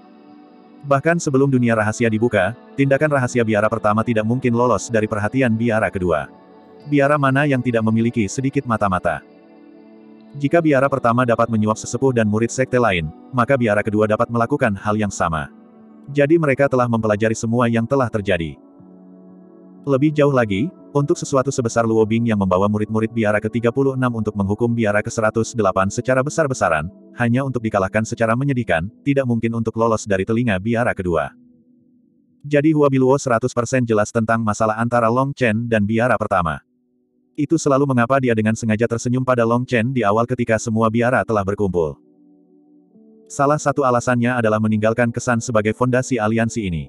Tapi alasan lainnya adalah untuk memprovokasi Han Tianyu. Dia tidak pernah memperhatikan Han Tianyu, bertindak seolah-olah dia tidak melihatnya. Jadi ketika dia mengungkapkan senyuman seperti itu kepada Long Chen, dia berhasil membangkitkan ketidakpuasan Han Tianyu. Selanjutnya, pada saat itu, Long Chen juga telah ditemani oleh dua wanita cantik tak tertandingi seperti Tang Wan Er dan Ye Ziqiu. Orang lain mungkin tidak tahu, tetapi Wabiluo segera merasakan kecemburuan Han Tianyu. Setelah memasuki dunia rahasia, Hua Biluo tidak langsung bersekutu dengan Long Chen. Sebaliknya, dia telah memilih untuk menjadi pengamat, ingin melihat apakah Long Chen benar-benar layak dia menariknya masuk. Jika Long Chen tidak dapat mencapai level itu, dia akan menghabiskan waktunya untuk menarik orang lain. Dan kalimatnya itu, yang dia hanya bisa lihat ketika dia harus menderita ketidakadilan, hanyalah kebohongan untuk menipu orang lain dan menipu dirinya sendiri. Begitu gambaran kekalahan Long Chen atas Yin Wushuang telah sampai padanya, dia akhirnya mengambil tindakan, mengatakan Long Chen adalah orang yang tidak bersalah, dan bahwa wanita dengan giok fotografi baru saja menjebaknya. Namun, saat itu, dia baru saja mengatakan satu baris itu. Itu juga mendirikan yayasan. Mengatakan hal seperti itu sama sekali tidak membantu Long Chen. Pada saat yang sama, dia tidak secara langsung tertarik pada permusuhan dari biara pertama. Namun, setelah dia berhasil mengalahkan Huo Wu Fang, dia akhirnya tergerak, merasa sudah waktunya untuk mengambil tindakan. Akibatnya, dia secara langsung mendukung Long Chen, menunjukkan bahwa dia sedang dijebak oleh seseorang. Meskipun dia tidak secara langsung mengatakan siapa orang yang menjebaknya, dia menyiratkan bahwa itu adalah biara pertama dan Yin Wushuang adalah direkturnya. Kemudian, ketika Long Chen telah membunuh Han Tianfeng dan memutuskan salah satu lengan Yin Wushuang, Hua Biluo seharusnya segera datang untuk menemukannya. Namun, dia baru datang sekarang setelah Long Chen dan Guoran membantai banyak musuh mereka, hanya setelah semuanya tenang. Itu agak tidak terduga untuk Long Chen. Aku sebenarnya sudah lama menunggumu. Kamu datang agak terlambat, Long Chen tersenyum. Berbicara denganmu sangat menghemat tenaga. Saya akan datang lebih awal, tetapi karena beberapa hal, saya akhirnya tertunda. Hua Biluo tersenyum pahit. Long Chen sudah secara mengesankan melihat semuanya. Dia menghela nafas, tiba-tiba, saya sedikit takut bekerja sama dengan Anda. Petik 2. Oh, mengapa? Karena menurutku kamu benar-benar mengesankan. Untuk sudah berhasil melihat dengan jelas semuanya, saya benar-benar tidak merasa aman. Hua Biluo menghela nafas, menyisir beberapa helai rambut yang terurai. Long Chen tertawa, lalu apa kau penasaran kenapa aku dengan bodohnya melompat masuk meskipun mengetahui tentang jebakan ini? Mengapa saya tidak memikirkan cara untuk melakukan serangan balik? Atau mungkin menurutmu aku punya skema tersembunyi? Petik 2. Hua Biluo tidak mengatakan apa-apa, tapi dia mengangguk sedikit. Dia merasa bahwa dengan kecerdasan Long Chen, dia seharusnya sudah lama mencium aroma jebakan. Menurut alasan, dia seharusnya sudah lama melakukan tindakan pencegahan dan tidak bertindak pasif. Namun, semua hal memiliki pemikiran dan rencana masing-masing. Jika Long Chen benar-benar punya rencana, maka dia benar-benar menyembunyikannya dalam-dalam, begitu dalam sehingga menakutkan. Sebenarnya, Anda terlalu memikirkannya. Saya tahu ada skema melawan saya, tetapi saya tidak menghabiskan banyak energi untuk memikirkan bagaimana menggunakan otak untuk menyelesaikannya. Di mata saya, dia sama sekali bukan apa-apa. Jika saya akhirnya memperlambat kemajuan saya karena dia, maka akhir saya pasti akan sangat menyedihkan. Jadi meski tahu, saya tidak punya waktu untuk memainkan permainan itu dengannya. Ada banyak hal yang harus saya lakukan yang lebih penting. Di dunia ini, banyak masalah yang bisa diselesaikan dengan kecerdasan. Tetapi saya percaya bahwa saudari Biluo menyadari bahwa ketika ada masalah yang tidak dapat diselesaikan oleh kecerdasan, hanya kekuatan bela diri yang dapat menyelesaikannya, kata Long Chen. Ketika kecerdasan tidak bisa memecahkan masalah, hanya kekuatan bela diri yang bisa, Hua Biluo menggumamkan kalimat terakhir Long Chen, cahaya redup bersinar di matanya. Seperti yang diharapkan, saudara magang senior Long Chen benar-benar orang yang cerdas. Frasa Anda ini telah membuat saya melihat tingkat hal yang baru. Petik 2. Sister Biluo terlalu sopan. Semua hal memiliki pro dan kontra. Jika Anda dapat menggunakan kecerdasan untuk memecahkan masalah, itu pasti akan menghemat tenaga dan lebih aman, bukan? Petik 2. Hua Biluo tertawa, karena Long Chen benar-benar terlalu menarik, dan kata-katanya selalu sangat tulus. Dari tatapannya, dia tahu bahwa dia adalah orang yang sangat sombong. Namun, dia tidak menampilkannya. Sebagai perbandingan, orang-orang yang selalu bertingkah sangat angkuh adalah orang-orang yang merasa rendah diri, dan mereka harus menggunakan keangkuhan itu untuk menyembunyikannya, semua untuk menemukan arti keberadaan mereka sendiri. Adapun orang yang benar-benar sombong, mereka tidak pernah dengan sengaja bertindak sombong. Long Chen adalah orang seperti itu, dan orang seperti itu biasanya akan meremehkan kebohongan, apakah itu kepada teman atau musuh. Sungguh menyenangkan berbicara denganmu. Aku hampir ingin berdiskusi panjang lebar denganmu, kata Hua Biluo sambil tertawa. Jangan, saya lebih suka berbicara tentang masalah kerja sama itu. Bagaimanapun, saya masih ingin hidup selama beberapa tahun lagi, dan Anda harus tahu bahwa hari ini, bahkan dinding memiliki telinga. Dengan sedikit kecerobohan, seseorang mungkin akan dihukum dengan hukuman pemotongan lima kuda. Long Chen bertindak sangat takut. Di dalam tenda lainnya, Meng Qi, Chu Yao, Tang Wan Er, Lu Fang Er, dan Ye Ziqiu semuanya menutup mata, berkultivasi. Meskipun mereka tampaknya telah memasuki kondisi meditasi, telinga mereka semua terangkat dan mendengarkan. Mendengar kata-kata Long Chen, semuanya memerah. Apakah hukuman pemotongan lima kuda itu merujuk pada mereka? Baiklah, mari kita bicara tentang bekerja sama. Saya punya satu pertanyaan untuk Anda. Bisakah Anda melepaskan Yin Wushuang? Petik 2. Sama sekali tidak. Ekspresi Long Chen berubah. Bab 427 banding 427. Sama sekali tidak. Saya tidak tahu apakah masalah dia mengincar saya diputuskan sendiri atau karena dia diperintahkan, tapi dia sudah melewati garis dasar saya. Perseteruan di antara kita hanya bisa dibasuh dengan darah. Entah aku mati, atau dia mati. Tidak ada pilihan ketiga. Petik 2. Kata-kata Long Chen adalah desivi tanpa ada ruang untuk kelonggaran. Tidak ada cara untuk meragukan tekadnya. Long Chen sekarang benar-benar marah dengan Yin Wushuang. Hua Biluo terdiam sesaat sebelum perlahan berkata, Long Chen, apakah kamu tahu seberapa kuat keluarga kuno itu? Long Chen menggelengkan kepalanya. Saya tidak tahu. Saya juga tidak perlu tahu. Bahkan jika dia adalah keturunan dewa, dia tetap harus mati. Jika tidak, saya tidak akan bisa menghadapi saudara-saudara saya yang sudah meninggal. Petik 2. Setiap kali nama Yin Wushuang disebutkan, niat membunuh Long Chen akan melonjak. Mata tak bernyawa Guan Wenan selamanya terpaku dalam pikirannya. Meskipun berbagai murid dari biara ke-108 pernah memiliki permusuhan satu sama lain selama kompetisi awal, permusuhan itu semua telah benar-benar dilupakan sejak pertempuran benar dan rusak. Mereka semua telah menjadi saudara hidup dan mati yang saling percaya dengan tegas. Memikirkan bagaimana orang-orang itu tidak mati karena perjuangan dengan jalan yang rusak, tetapi karena skema berbahaya dari wanita itu, Long Chen benar-benar ingin memotong Yin Wushuang menjadi jutaan keping. Jika kamu membunuhnya, keluarganya tidak akan melepaskanmu. Mungkin biarawan bahkan tidak akan bisa melindungi Anda. Atasan Supermonaster tidak akan menyinggung keluarga kuno hanya untuk seorang murid. Saat itu, Anda akan diserahkan sebagai pembunuh untuk menenangkan amukan keluarga Yin, kata Hua Biluo. Hahaha, keluarga kuno benar-benar perkasa. Jadi hanya mereka yang bisa membunuh orang lain, tapi orang lain tidak bisa membalas. Ejek Long Chen. Anda benar, keluarga kuno itu biadab, tetapi tidak ada jalan lain, karena mereka memiliki kekuatan untuk melakukannya. Dia hanya dikirim ke biara sebagai pengalaman yang menenangkan. Setelah pengalaman itu selesai, keluarga Yin akan meneleponnya kembali. Dengan keangkuhan keluarga kuno, mereka pasti tidak akan mengizinkan salah satu keturunan mereka dibunuh. Jadi saudara Long, kamu harus memikirkan ini. Baginya, kamu rela membuang nyawamu sendiri. Apakah itu layak? Hua Biluo memandang Long Chen dengan rumit, mencoba membujuknya. Saya tidak peduli apakah itu layak atau tidak. Ini adalah masalah prinsip. Jika saya tidak bisa membalas dendam untuk saudara-saudara saya, lalu apa gunanya saya berkultivasi? Apa gunanya hidup? Tidak peduli seberapa tinggi pencapaian basis kultivasi seseorang, itu adalah perjuangan terus-menerus sementara kematian tinggal selangkah lagi. Saya lebih suka hidup bahagia, membalas rasa syukur dan permusuhan, hidup setiap hari sebagaimana adanya. Adapun musuh saya, kemudian selama saya hidup, mereka semua akan dikirim ke neraka, kata Long Chen. Tapi pernahkah Anda berpikir bahwa Anda mungkin melibatkan orang-orang di sisi Anda? Begitu keluarga kuno marah, teman Anda juga akan mati. Apa yang akan Anda lakukan selanjutnya? Melihat betapa kerasnya Long Chen, Hua Biluo sedikit marah. Aku akan lari. Bertentangan dengan harapan Hua Biluo, Long Chen benar-benar mengucapkan tiga kata ini. Saya akan berlari dan berkultivasi sendiri. Ketika saya cukup kuat, saya akan memusnahkan seluruh keluarga mereka, menggunakan darah mereka sebagai korban untuk teman-teman saya yang sudah meninggal. Kemudian, saya akan mengubur tulang saya dengan teman-teman saya. Suara Long Chen sangat tenang. Tapi di dalam ketenangan itu ada keyakinan mutlak, yang akan menyebabkan jiwa seseorang menggigil. Itu adalah lelucon mutlak untuk mengatakan Anda akan memusnahkan keluarga kuno.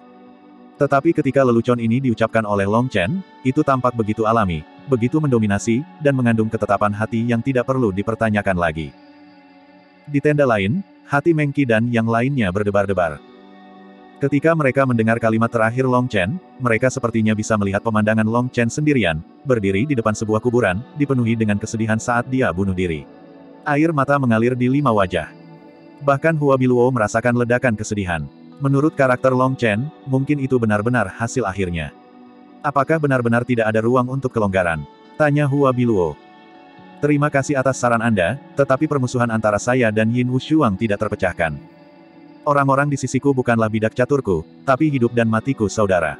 Petik 2. Kata-kata Long Chen menyebabkan Hua Biluo menjadi sedikit marah. Namun kemarahan itu baru saja mengemuka saat digantikan oleh kesedihan yang redup. Menjadi temanmu benar-benar beruntung, desahnya. Di dunia kultivasi yang jahat, orang-orang seperti Long Chen benar-benar sedikit dan jarang. Seperti pepatah mengatakan, ketika yang mati sudah mati, yang hidup punya kewajiban untuk terus hidup. Dia benar-benar belum pernah mendengar seseorang yang akan membuang nyawanya sendiri untuk membalas dendam bagi orang mati. Dalam dunia kultivasi, fokusnya adalah pada keuntungan dan keuntungan. Tidak peduli seberapa besar nilai seseorang saat mereka masih hidup, begitu mereka mati, tidak ada lagi nilai untuk dibicarakan. Pemikiran Long Chen sangat mengguncang hati Hua Biluo. Ini adalah pertama kalinya dia bertemu seseorang di dunia ini yang sangat peduli pada teman-temannya. Saya, di sisi lain, tidak berpikir mereka seberuntung itu. Mereka yang ingin menjadi teman saya harus memiliki kehidupan yang cukup tangguh, atau tinggal di sisi saya akan terlalu berbahaya. Cahaya sedih bersinar di mata Long Chen.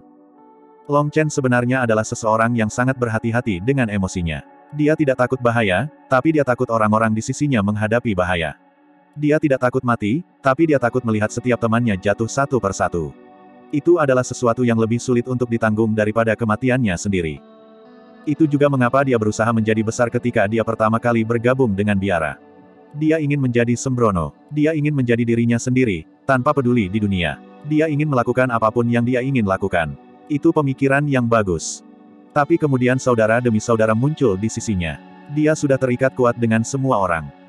Dia tidak lagi menghadapi hidup sendiri. Dia tidak lagi sendirian di jalur kultivasinya. Jalan baru ini menyatu dengan tawa dan kegembiraan. Tetapi ketika kegembiraan itu hilang, itu akan menjadi rasa sakit dan penderitaan. Long Chen menghargai setiap orang di sisinya, jadi dia harus menjadi lebih kuat, dan dia membutuhkan orang lain untuk menjadi lebih kuat juga. Mengapa kamu tidak menunggu? Karena Anda yakin untuk tumbuh ke titik itu, mengapa Anda harus menghadapinya saat ini? Tanya Hua Biluo.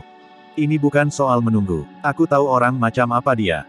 Jika saya tidak membunuh Yin Wushuang, dia tetap tidak akan melepaskan saya. Selanjutnya, bahkan jika saya melepaskan Yin Wushuang, Yin Wushuang kedua akan segera muncul. Lalu yang ketiga dan keempat. Saat ini, saya ingin menebang Yin Wushuang ini sehingga yang akan datang belajar untuk merasa takut.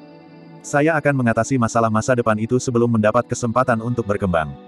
Jadi saya benar-benar harus membunuh Yin Wushuang, kata Long Chen. Hua Biluo mengusap dahinya, merasakan sakit kepala. Sepertinya aku tidak bisa membujukmu untuk menyerah membunuh Yin Wushuang. Petik 2. Itu benar, jadi Anda tidak perlu membuang waktu lagi untuk itu. Jika saya tidak salah menebak, maka Anda pasti juga orang dari keluarga kuno. Petik 2. Iya, saya sama dengan Yin Wushuang, dan berasal dari keluarga kuno lainnya. Lebih jauh, hubungan antara kedua keluarga kami agak rata-rata. Petik 2. Long Chen terdiam sesaat, agak rata-rata, benar-benar layak seseorang dari keluarga bangsawan, kata-katanya begitu tersirat. Mengapa tidak langsung mengatakan bahwa hubungan keluarga mereka buruk? Alasan saya dikirim ke biara juga karena pengalaman yang menenangkan. Namun, bisa juga dikatakan sebagai kompetisi antara saya dan Yin Wushuang. Keluarga Yin menyetujui bakat Han Tianyu, jadi mereka sengaja mengirimnya ke biara pertama.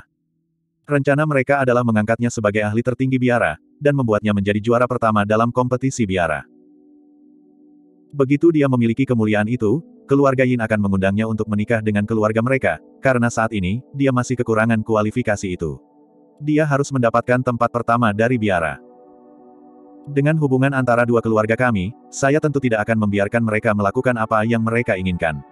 Jadi saya ingin menekan Han Tianyu di dunia rahasia. Petik 2. Long Chen bertanya, apa sebenarnya yang kamu maksud dengan menekan? Menekan dalam segala hal, tidak hanya dari segi kekuatan bela diri langsung, tapi juga dari segi kekuatan kelompok. Saya sudah berjanji pada pemimpin sekte biara kedua bahwa saya akan membantunya memperjuangkan peringkat biara pertama. Saat ini, saya telah mengikat beberapa kekuatan yang lebih kecil, membentuk aliansi dengan mereka. Setidaknya, saya tidak kalah dalam jumlah. Dalam hal kemampuan tempur sebenarnya, saya mungkin tidak bisa mengalahkan Han Tianyu, tapi setidaknya saya bisa menjamin bahwa saya tidak akan kalah. Tetapi dengan bantuan saudara Long, kita seharusnya memiliki peluang kemenangan lebih dari 80%. Tapi kamu bilang kamu harus membunuh Yin Wushuang, jadi rencanaku hancur. Bahkan jika hubungan keluarga Hua saya dengan keluarga Yin tidak baik, secara teknis tidak ada kebencian di permukaan. Tetapi jika Anda membunuh Yin Wushuang, maka itu bukan lagi masalah persaingan tersembunyi. Masalah ini akan lepas dari kendaliku, Hua Biluo mendesah. Meskipun dia berasal dari keluarga kuno, dia tidak akan bisa lolos dari hukuman jika dia membantu Long Chen membunuh Yin Wushuang. Meskipun keluarga Yin tidak akan dapat melakukan apa pun untuk keluarga Hua, membunuh Yin Wushuang akan melampaui rencana keluarganya. Tindakannya akan menyebabkan ketidakpuasan di antara keluarganya, dan dia akhirnya akan kehilangan banyak. Tujuannya dikirim ke biara adalah untuk mencoba dan menekan keluarga Yin, tetapi keluarga Hua jelas tidak ingin masalah itu meledak terlalu besar. Jika Yin Wushuang meninggal, sifat masalah ini akan benar-benar berubah. Jadi Hua Biluo terjebak dalam posisi yang sulit. Apa yang harus dia lakukan dalam situasi ini? Haruskah dia tetap berperang melawan Yin Wushuang, atau haruskah dia mundur diam-diam? Tetapi jika dia mundur pada saat ini, semua usahanya sebelumnya akan sia-sia.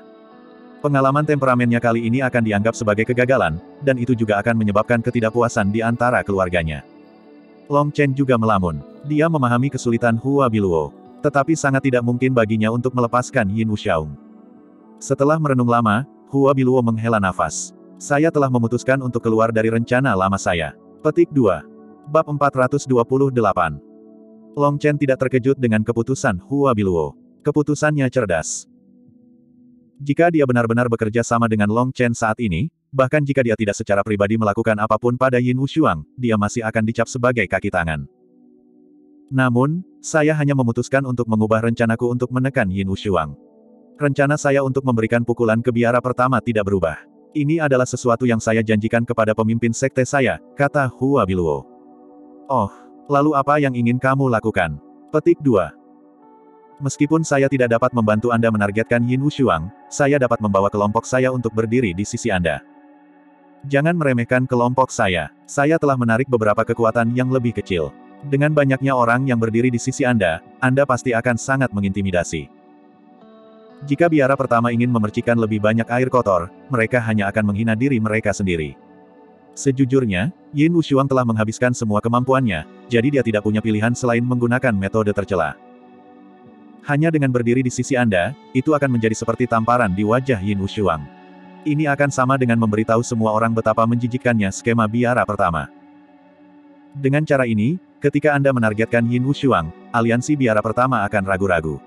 Melihat seberapa kuat sisi Anda, mereka bahkan mungkin tidak menyerang. Paling tidak, itu akan menimbulkan efek jerah, kata Hua Biluo. Aku tidak membutuhkanmu untuk berpartisipasi langsung dalam pertempuran. Tetapi jika teman-teman saya mengalami bahaya selama pertempuran, saya harap Anda dapat mengulurkan tangan untuk membantu. Jika Anda melakukannya, saya, Long Chen, akan berutang budi kepada Anda. Petik 2. Mata Hua Biluo berbinar. Long Chen adalah seseorang yang menepati janjinya, dan mendapat bantuan darinya. Dengan potensinya, jika dia tidak mati, dia pasti akan tumbuh ke alam yang menakutkan. Bantuan darinya benar-benar penting. Baiklah, aku janji. Hua Biluo mengulurkan tangan. Long Chen juga mengulurkan tangan, dengan ringan menepuk tangan Hua Biluo. Ini adalah kebiasaan yang merupakan salah satu janji paling khusyuk di dunia kultivasi. Terima kasih. Long Chen akhirnya sedikit santai. Kakak Long terlalu sopan. Saya tidak banyak membantu Anda dengan melakukan ini. Tapi kepedulianmu terhadap keselamatan orang-orangmu benar-benar jarang, puji Hua Biluo.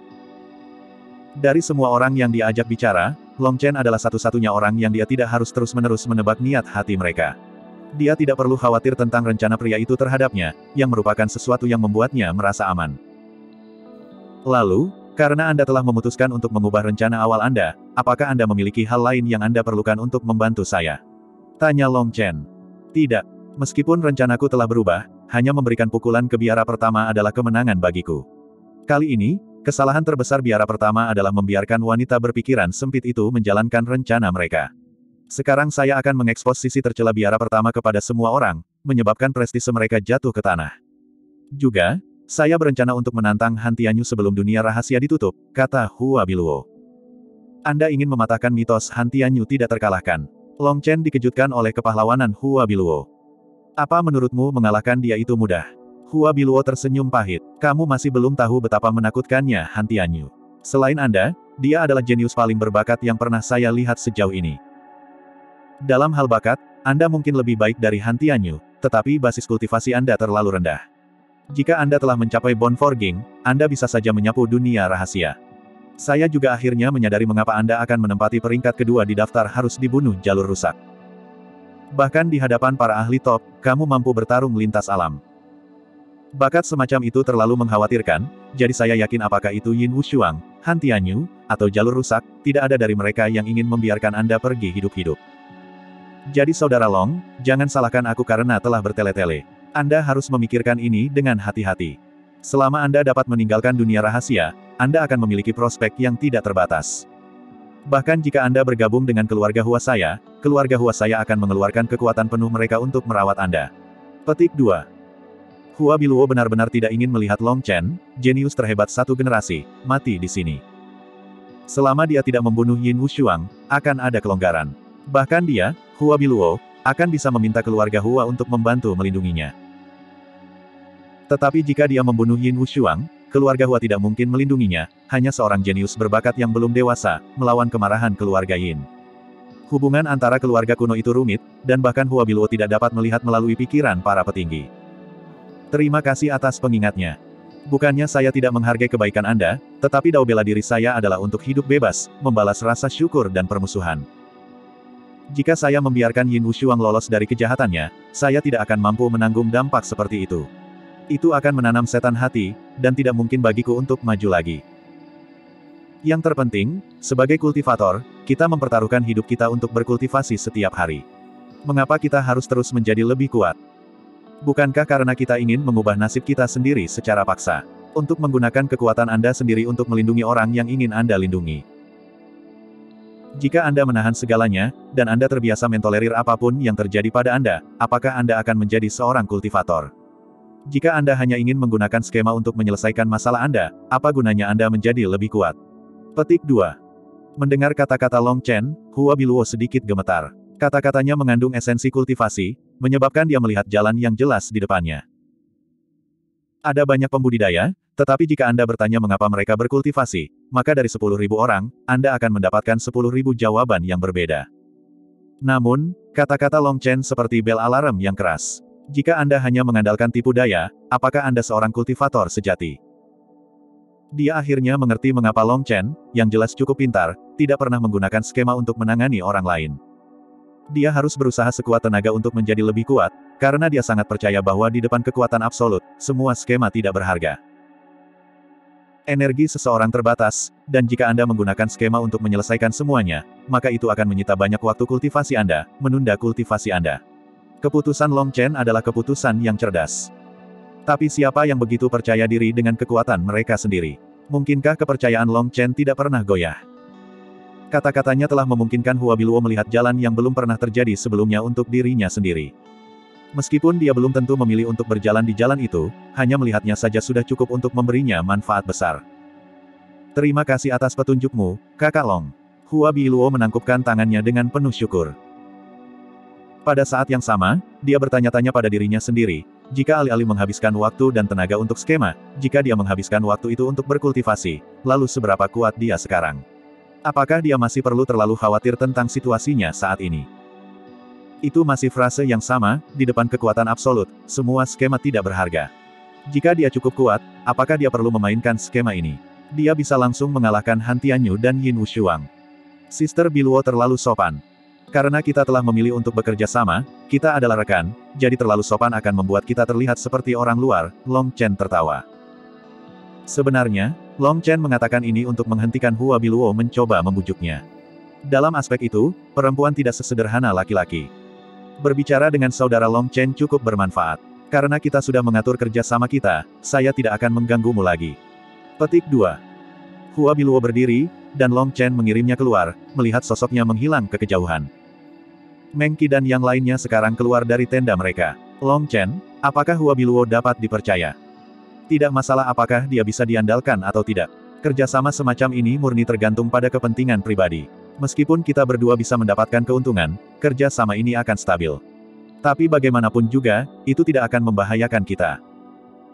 Untuk Hua Biluo meminjam kekuatan kami untuk memberikan pukulan ke biara pertama juga bisa dianggap membantu kami membalas dendam, jadi itu saling menguntungkan, kata Long Chen. Pernahkah kamu berpikir tentang apa yang akan kamu lakukan setelah kamu membunuh Yin Wushuang? Tanya Chu Yao cemas. Sejujurnya, tidak. Long Chen menghela nafas, saya tahu bahwa membunuh Yin Wushuang akan menyebabkan banyak masalah. Tapi aku benar-benar tidak tahan membiarkan dia hidup.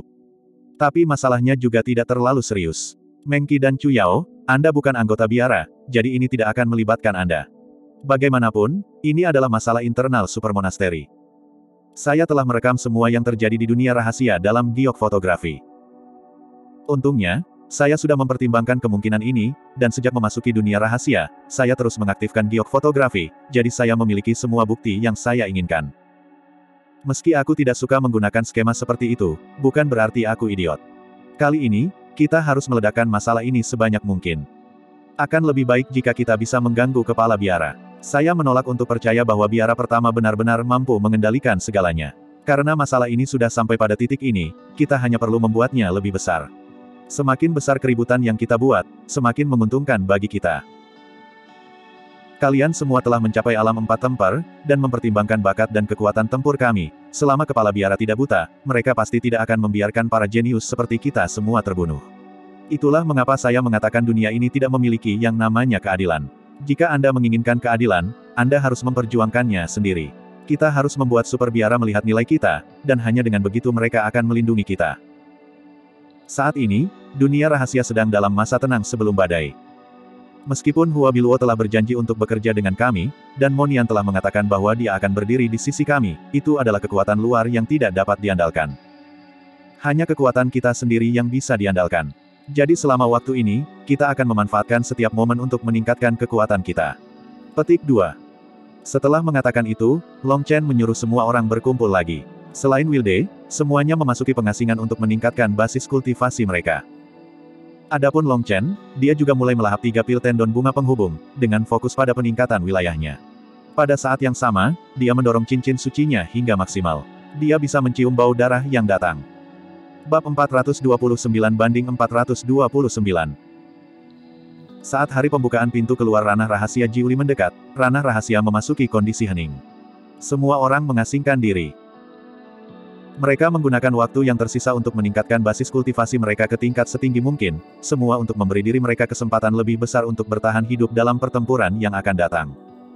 Tidak ada lagi waktu untuk mencari peluang. Hidup mereka jauh lebih penting.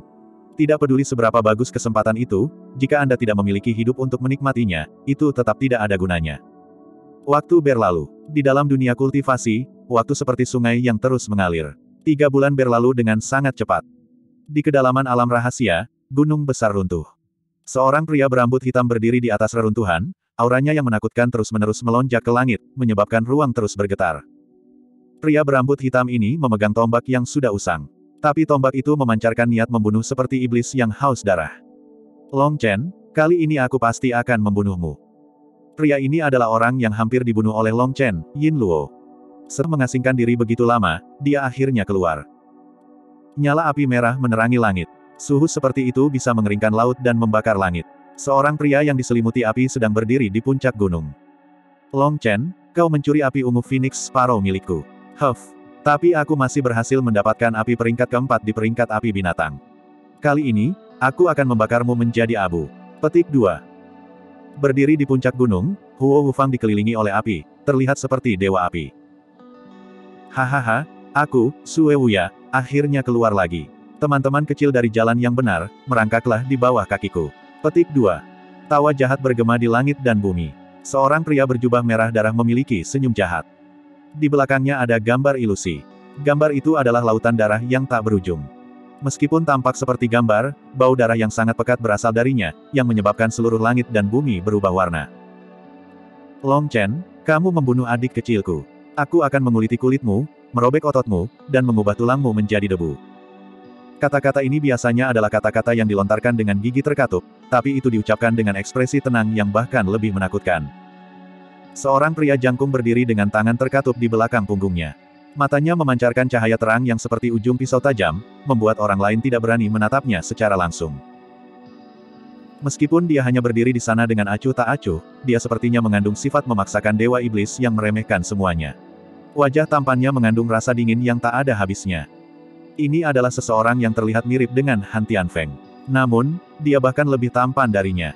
Dia adalah kakak laki-laki Han Tianfeng, ahli nomor satu Supermonaster, Han Tianyu. Saat ini, ada lebih dari selusin orang yang mengelilinginya. Salah satu dari orang-orang itu adalah yang dibenci Long Chen dengan seluruh keberadaannya, Yin Wushuang. Yin Wushuang melingkari lengan Han Tianyu, berkata, Saudara Tianyu, ayo kita bunuh Long Chen sekarang juga untuk membalas dendam untuk Tianfeng. Petik 2. Yin Wushuang benar-benar ditakuti oleh Long Chen. Long Chen telah menjadi iblis hati yang serius baginya, dan dia bahkan tidak bisa menutup matanya lagi tanpa melihat wajahnya. Wajah itu dipenuhi dengan niat membunuh. Dia menjadi sangat pengecut sekarang, bahkan tidak bisa bepergian sendirian. Dia harus memiliki sekelompok besar orang di sisinya sehingga dia bisa menggunakan mereka untuk lari jika Long Chen menemukannya. Tiga bulan terakhir ini terasa selama 30 tahun baginya. Dia bahkan tidak bisa tidur, apalagi berkultivasi. Setelah Han Tianyu meninggalkan pengasingan, dia telah mengaktifkan perangkat komunikasi spesifiknya, dan Yin Wushuang segera bergegas. Dia merasa bahwa tempat teraman di dunia ini adalah di sisi Han Tianyu. Biarkan dia hidup beberapa hari lagi. Membunuhnya secara langsung berarti membiarkannya pergi terlalu ringan. Kirimkan berita bahwa saya telah keluar dari pengasingan dan tergantung pada suasana hati saya, saya akan mengambil nyawanya kapan pun saya mau. Suruh dia mencuci lehernya dan tunggu aku, kata Han Tianyu ringan. Maka itu bagus. Mari kita membuatnya jadi dia harus menghabiskan setiap hari dengan gelisah menunggu kematian. Yin Wushuang mengatupkan giginya. Masih ada lebih dari sebulan sampai pintu keluar dunia rahasia dibuka. Ahli yang tak terhitung jumlahnya keluar dari pengasingan mereka. Alam rahasia segera menjadi hidup kembali. Tapi keaktifan ini disertai dengan pembantaian dan darah yang tak ada habisnya. Saat para ahli keluar, pertempuran besar terjadi di mana-mana. Orang-orang yang keluar dari pengasingan saat ini semuanya adalah pakar top yang sangat percaya diri. Adapun orang-orang yang lebih lemah, mereka masih dalam pengasingan. Hanya meningkatkan basis kultivasi mereka sedikit saja sudah sepadan bagi mereka. Di puncak Gunung Kompas, Long Chen dan yang lainnya juga keluar dari pengasingan mereka. Apa yang memuaskan Long Chen adalah bahwa basis kultivasi semua orang telah mencapai ranah penempaan tulang tengah. Adapun Tang Wan Er, yang memiliki akar roh emas, dia telah mencapai tahap ketujuh penempaan tulang, yang merupakan yang tertinggi dari semuanya. Selanjutnya, saat dia terus-menerus memurnikan energi paling murni dari batu roh angin, energi anginnya sekali lagi berubah, dan bila anginnya menjadi jauh lebih padat dan tajam. Tang Wan Er adalah orang dengan basis kultivasi tertinggi, tetapi tempat kedua bukanlah Meng Qi atau yang lainnya. Yang mengejutkan adalah ternyata itu adalah Guoran. Dia telah mencapai puncak panggung surga ke-6, dan dia bisa maju ke panggung surga ketujuh setiap saat. Itu mengejutkan mereka semua. Hanya Long Chen yang masih tenang. Dia tahu bahwa Guoran berjalan di jalur alternatif, dan dia tidak akan mengalami kemacetan. Selama dia terus percaya kuat bahwa dia bisa mengandalkan barang tempa untuk menjadi dewa perajin, maka dengan terus mengonsumsi pil obat, basis kultivasinya akan tumbuh dengan cepat dan konstan. Tetapi begitu dia menerima dampak pada penempaan daunnya, begitu kepercayaan dirinya terguncang, maka basis kultivasinya akan terhenti selamanya. Long Chen sudah memperingatkannya tentang itu, tetapi Goran masih memutuskan untuk memilih jalan itu. Dia merintis jalan yang tidak dilalui menuju keilahian. Berjalan di jalur itu sangat berbahaya, tetapi pada saat yang sama, risiko tinggi menandakan imbalan yang tinggi. Sampai sekarang, keputusan Guoran sangat benar. Selain Luo Chang yang masih di panggung surga keempat, yang lain telah mencapai panggung surga kelima atau keenam. Tingkat basis kultivasi itu cukup untuk mengejutkan seluruh dunia rahasia. Ini semua karena Long Chen telah memutuskan untuk memurnikan pil bermutu tinggi. Karena itu, semua tungku pilnya telah hancur, dan dia tidak memiliki satu pun lagi. Namun, tungku sampah itu setidaknya telah menjalankan misi mereka pada akhirnya sebelum hancur. Saat ini, Wilde juga sudah datang. Dia telah menyelesaikan Valet Phoenix Sparrow dan sekarang sedang mengerjakan Barbaric Wind Beast. Tubuh Wilde tidak banyak berubah saat ini, tapi kulitnya telah berubah warna menjadi perunggu. Dengan kekuatannya saat ini, dia bisa menghancurkan baja menjadi berkeping-keping. Tubuh fisiknya bahkan lebih kuat daripada Magical Beast. Selanjutnya, setelah kulitnya berubah menjadi perunggu, dia menjadi kebal terhadap pedang atau tombak. Bahkan ketika Song Mingyuan meluncurkan serangan kekuatan penuh, dia hanya bisa meninggalkan bekas putih kecil di kulit Wilde. Pada saat itu, Rahang Guyang dan yang lainnya jatuh ke tanah. Ini bahkan bukan lagi manusia. Apakah benar-benar ada seseorang yang kebal terhadap pedang atau tombak? Jika Wilde menggunakan skill pertempuran, maka itu adalah satu hal, tetapi Wilde tidak mengetahuinya, dan bahkan sampai sekarang, dia hanya tahu metode paling sederhana untuk mengedarkan ki. Long Chen melihat tanda samar muncul di dahinya. Meskipun itu sangat redup, itu pasti ada di sana. Tanda itu tidak sama dengan tanda leluhur biasa. Tanda ini bukanlah sesuatu yang Wilde panggil, tapi sesuatu yang muncul secara otomatis. Tanda itu sepertinya menyembunyikan gunung berapi yang bisa meledak kapan saja. Apakah ini yang dimaksud ahli ras barbar ketika dia mengatakan bahwa selama tubuh fisik mereka tumbuh cukup kuat, mereka akan secara otomatis membangkitkan kemampuan mereka? Tetapi bagaimanapun juga, kekuatan Wilde menyebabkan kekuatan tim kolektif mereka meningkat pesat. Sekarang pasukan mereka benar-benar bisa disebut elit di antara para elit. Menurut kemampuan tempur, masing-masing dari mereka setidaknya telah mencapai level terpilih. Hanya saja mereka yang memiliki temperamen lebih lembut seperti Mengki dan Chu Yao tidak akan melepaskan keinginan yang tak terkalahkan semacam itu. Namun, Guyang, Song Mingyuan, dan yang lainnya semuanya mengalami pertempuran sengit dan hujan darah. Hati mereka sudah lama marah, dan ketika mereka bertarung, keinginan mereka jauh melebihi apa yang disebut terpilih. Guyang dan yang lainnya telah tumbuh ke titik mereka sendiri, dan keinginan mereka bukanlah buatan manusia oleh sekte mereka. Mereka sangat berbeda. Selain kekuatan mereka yang meningkat, mereka juga memiliki empat pembantu yang kuat. Keempat burung pipit Valet Phoenix semuanya telah mencapai peringkat keempat terakhir. Untuk membantu keempatnya tumbuh, Mengki dan yang lainnya telah mengeluarkan banyak usaha, dan Long Chen juga telah memperbaiki beberapa pil obat khusus untuk mereka. Dari empat wanita, mereka akan bergilir, salah satunya membawa empat burung untuk pergi berburu. Alasan mereka semua berhasil tumbuh begitu cepat adalah karena mereka bergantian berburu dan bercocok tanam. Long Chen memperhatikan bahwa setelah dibesarkan oleh Mengki dan yang lainnya, burung-burung ini menjadi jauh lebih manusiawi. Mereka tidak mengamuk seperti ibu mereka, dan mereka sangat setia. Pada dasarnya tidak perlu khawatir tentang mereka yang tiba-tiba mengkhianati mereka. Ini pasti karena perhatian besar yang empat wanita berikan kepada mereka saat mereka tumbuh dewasa. Meskipun Magical Beast dikenal mengamuk, mereka juga memiliki emosi. Begitu mereka sepenuhnya menerima seorang guru, mereka tidak akan pernah mengkhianati orang itu seumur hidup mereka. Dibandingkan dengan manusia yang berubah-ubah, Magical Beast sebenarnya jauh lebih bisa dipercaya. Hal yang paling membuat Long Chen bersemangat adalah bahwa Little Snow, yang tertidur setelah memakan Neidan dari binatang angin barbarik, akhirnya terbangun. Setelah dia memanggil salju kecil dari ruang spiritualnya, mereka semua terkejut. Salju kecil telah menyusut banyak, dan sekarang panjangnya hanya 10 meter. Tapi auranya adalah sesuatu yang menyebabkan orang-orang merasakan penghormatan yang dalam. Begitu dia muncul, keempat burung pipit Valet Phoenix itu semuanya mulai menggigil. Tidak hanya Little Snow menyusut banyak, tapi bulu merah menyala di dahinya telah menjadi bentuk belah ketupat. Ketika Mengki melihat itu, dia dipenuhi dengan ketidakpercayaan. Dia memberitahu Long Chen bahwa salju kecil benar-benar mengubah inti kristalnya. Melihat bahwa Long Chen tidak mengerti, dia menjelaskan bahwa salju kecil telah melarutkan inti kristal aslinya dan telah mengembunkan yang baru.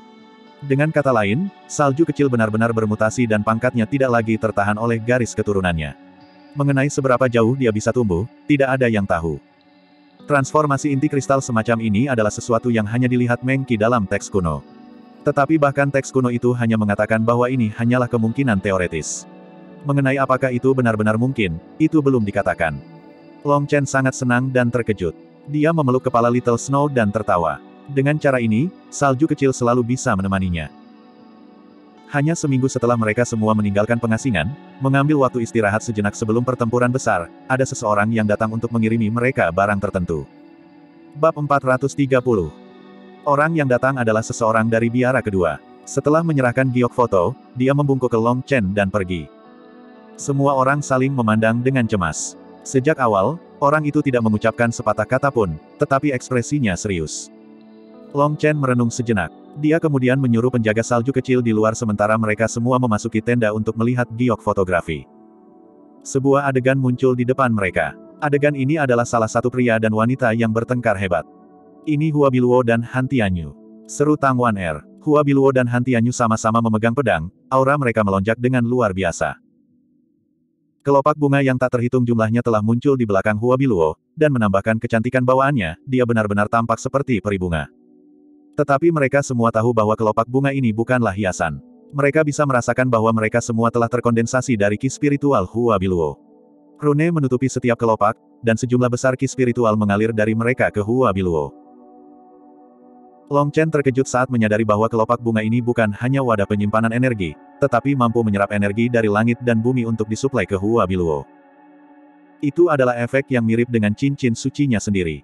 Namun, perbedaan antara keduanya terlalu jauh. Tidak mungkin kelopak bunga itu bisa dibandingkan dengan cincin sucinya.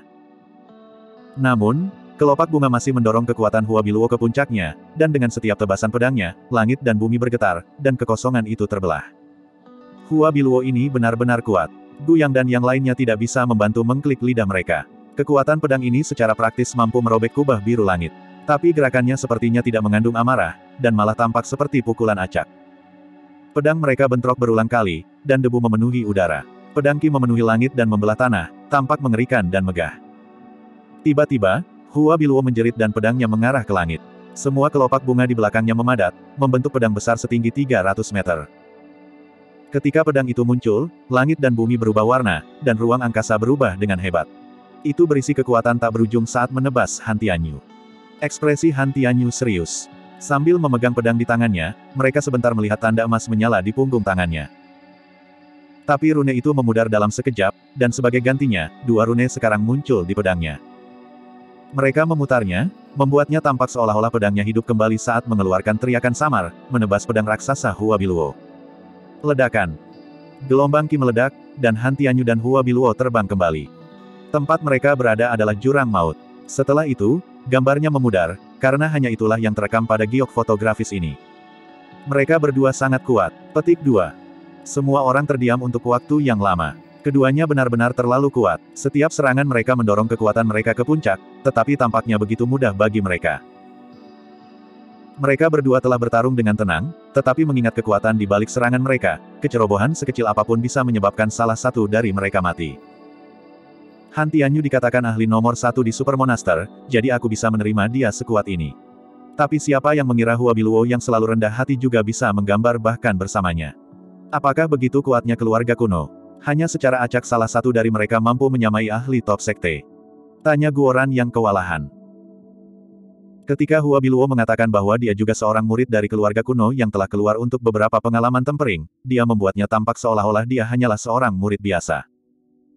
Tapi murid biasa seperti itu mampu bertarung dengan jenius yang luar biasa seperti Han Tianyu. Itu benar-benar terlalu mengejutkan. Long Chen, mana yang menurutmu lebih kuat? Tanya Mengki. Ini pasti Han Tianyu. Dalam pertukaran terakhir itu, meskipun tampak seperti dasi di permukaan, Hua Biluo sudah kalah. Apa kau tidak menyadarinya? Setelah pertukaran itu, pedang yang dia kental dari kelopak bunganya hancur, tetapi kekuatan rahasia pada pedang Han Tianyu tidak segera tersebar. Hanya ketika keduanya ditiup kembali, cahaya dari pedangnya memudar. Dia sengaja menyembunyikan kekuatannya untuk membuatnya tampak seperti hasil imbang. Ekspresi Long Chen serius. Han Tianyu jauh lebih kuat dari yang dia bayangkan. Meskipun Han Tianfeng adalah saudaranya, perbedaan antara keduanya seperti langit dan bumi. Sekarang ketika dia ingat bagaimana Han Tianfeng telah cukup tertipu untuk berpikir dia bisa bersaing di tempat pertama dengan saudaranya, dia menyadari betapa menggelikannya itu. Kenapa dia melakukan hal ini? Apakah itu untuk memenangkan hati Hua Biluo? Chu Yao tidak bisa membantu bertanya. Mungkin. Bagi saya, sepertinya Han Tianyu ingin bergabung dengan keluarga Hua, tetapi dia juga tidak mau meninggalkan keluarga Yin Wushuang. Jadi saat ini, dia sedang bimbang. Namun, metode Hua Biluo lebih unggul. Mengabaikannya terus-menerus jelas merupakan pilihan yang tepat untuknya. Untuk seorang jenius seperti Han Tianyu, dia pasti tidak bisa menangani diabaikan oleh orang lain. Jadi Hua Biluo jelas lebih unggul dalam aspek itu. Long Chen tersenyum. Bos, benar-benar bos. Teknik penjemputan gadis ini benar-benar tak tertandingi di bawah langit ayah. Di tengah pujian dan sepatu bot Guoran, dia ditendang oleh Long Chen. Baru saat itulah Guoran ingat bahwa itu bukan hanya mereka berdua. Berbicara tentang teknik penjemputan Long Chen di depan banyak wanita cantik ini tidak berbeda dengan menyebabkan masalah bagi Long Chen. Bos, saya salah, Guoran meminta maaf. Mengki dan yang lainnya hanya tertawa dan tidak mengatakan apa-apa tentang itu. Mereka tidak tega memperdulikan hal seperti itu sekarang. Yang ingin mereka ketahui adalah mengapa Hua Biluo mengirimkan giok foto ini. Long Chen merenung sejenak dan berkata, Hua Biluo dan Han Tianyu bertarung dengan paling banyak 50% dari kekuatan mereka.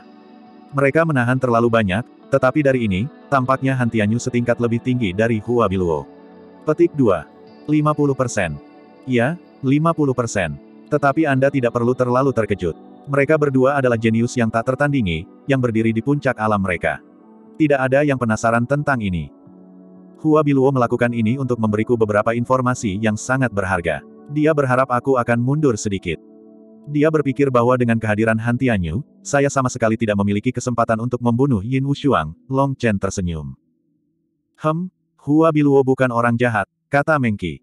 Hua Biluo telah berulang kali mencoba membujuk Long Chen untuk menyerah dalam membunuh Yin Wushuang, semuanya demi kebaikannya sendiri. Sebenarnya, mempertimbangkan posisinya, bagi Long Chen untuk membunuh Yin Wushuang harus membuatnya bertepuk tangan dengan gembira. Itu menggunakan Long Chen untuk membantunya menyingkirkan musuh. Tapi dia telah meninggalkan keinginan egois semacam itu untuk membujuk Long Chen agar tidak menempatkan dirinya dalam situasi yang mustahil. Itu membuat Mengki dan yang lainnya memandangnya dengan baik. Bos, ada yang ingin kutanyakan padamu, kata Guoran hati-hati.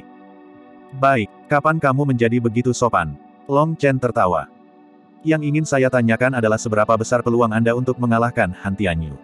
Setelah ragu-ragu beberapa saat, Guoran akhirnya menanyakan pertanyaan penting ini. Mendengar dia mengatakan itu, semua orang menoleh untuk melihat Long Chen lebih dekat. Ini juga yang ingin mereka ketahui. Long Chen tersenyum sedikit. Ah, kalian semua tidak percaya padaku. Baiklah, Aku akan memberitahumu pikiranku. Saat ini, Han Tianyu belum mengeluarkan kekuatan penuhnya, dan dia pasti memiliki banyak kemampuan lainnya. Selain itu, juga dikabarkan dia mendapatkan harta karun yang tidak kami lihat dia ambil dengan batu giok fotografi ini. Namun, itu tidak memengaruhi kepercayaan diri saya. Jika saya melawannya, saya memiliki 90% peluang untuk tidak dikalahkan, 50% peluang untuk mengalahkannya, tetapi untuk membunuhnya. Paling banyak, saya hanya memiliki peluang 20%. Petik 2. Semuanya menjadi tidak bernyawa. Jika mereka tidak tahu karakter Long Chen, mereka akan mengira dia hanya membual. Tapi Long Chen tidak pernah bertindak seperti itu, terutama jika itu menyangkut keselamatan semua orang. Maka apa yang dia katakan adalah fakta mutlak. Untuk memiliki peluang 50% mengalahkan ahli top Super Monster, konsep macam apa itu? Itu terlalu mengejutkan. Apa kamu pikir karena aku menghabiskan waktu selama ini untuk memurnikan pil, aku lupa bagaimana cara bertarung? Long Chen tertawa. Sejujurnya, setelah memurnikan begitu lama, Long Chen benar-benar ingin muntah. Jika bukan karena semua orang, dia pasti tidak akan bisa menahannya. Memang benar bahwa sudah lama sejak dia bertempur. Tetapi selama waktu ini, dia telah maju ke transformasi tendon surgawi ke-9. Bahkan Long Chen tidak tahu seberapa kuat dia sekarang. Bos, Kenapa kamu tidak terburu-buru dan menyendiri untuk berkultivasi? Jika Anda berhasil menembus Bone Forging, bukankah Anda bisa menghancurkan Hantianyu dengan kentut? Petik 2. Guoran, lebih beradab. Mengki dan yang lainnya tersipu, dan Tang Wan Er yang dengan marah menegurnya. Guoran benar-benar perlu memperhatikan situasi saat dia berbicara. Bagaimana bisa sederhana itu? Long Chen tersenyum pahit. Bagi orang lain, maju melewati panggung surga ke-9 akan membawa mereka ke alam berikutnya. Tetapi dia harus mencapai panggung surga ke-13 sebelum mencapai alam berikutnya. Selanjutnya, untuk panggung surga ke-10 dan lebih tinggi, setiap kemajuan sangat sulit. Itu membutuhkan pil obat yang sangat berharga. Dia masih tidak punya banyak pil. Saat ini, satu-satunya bahan obat berguna yang dia miliki adalah yang ada di cincin hidupnya.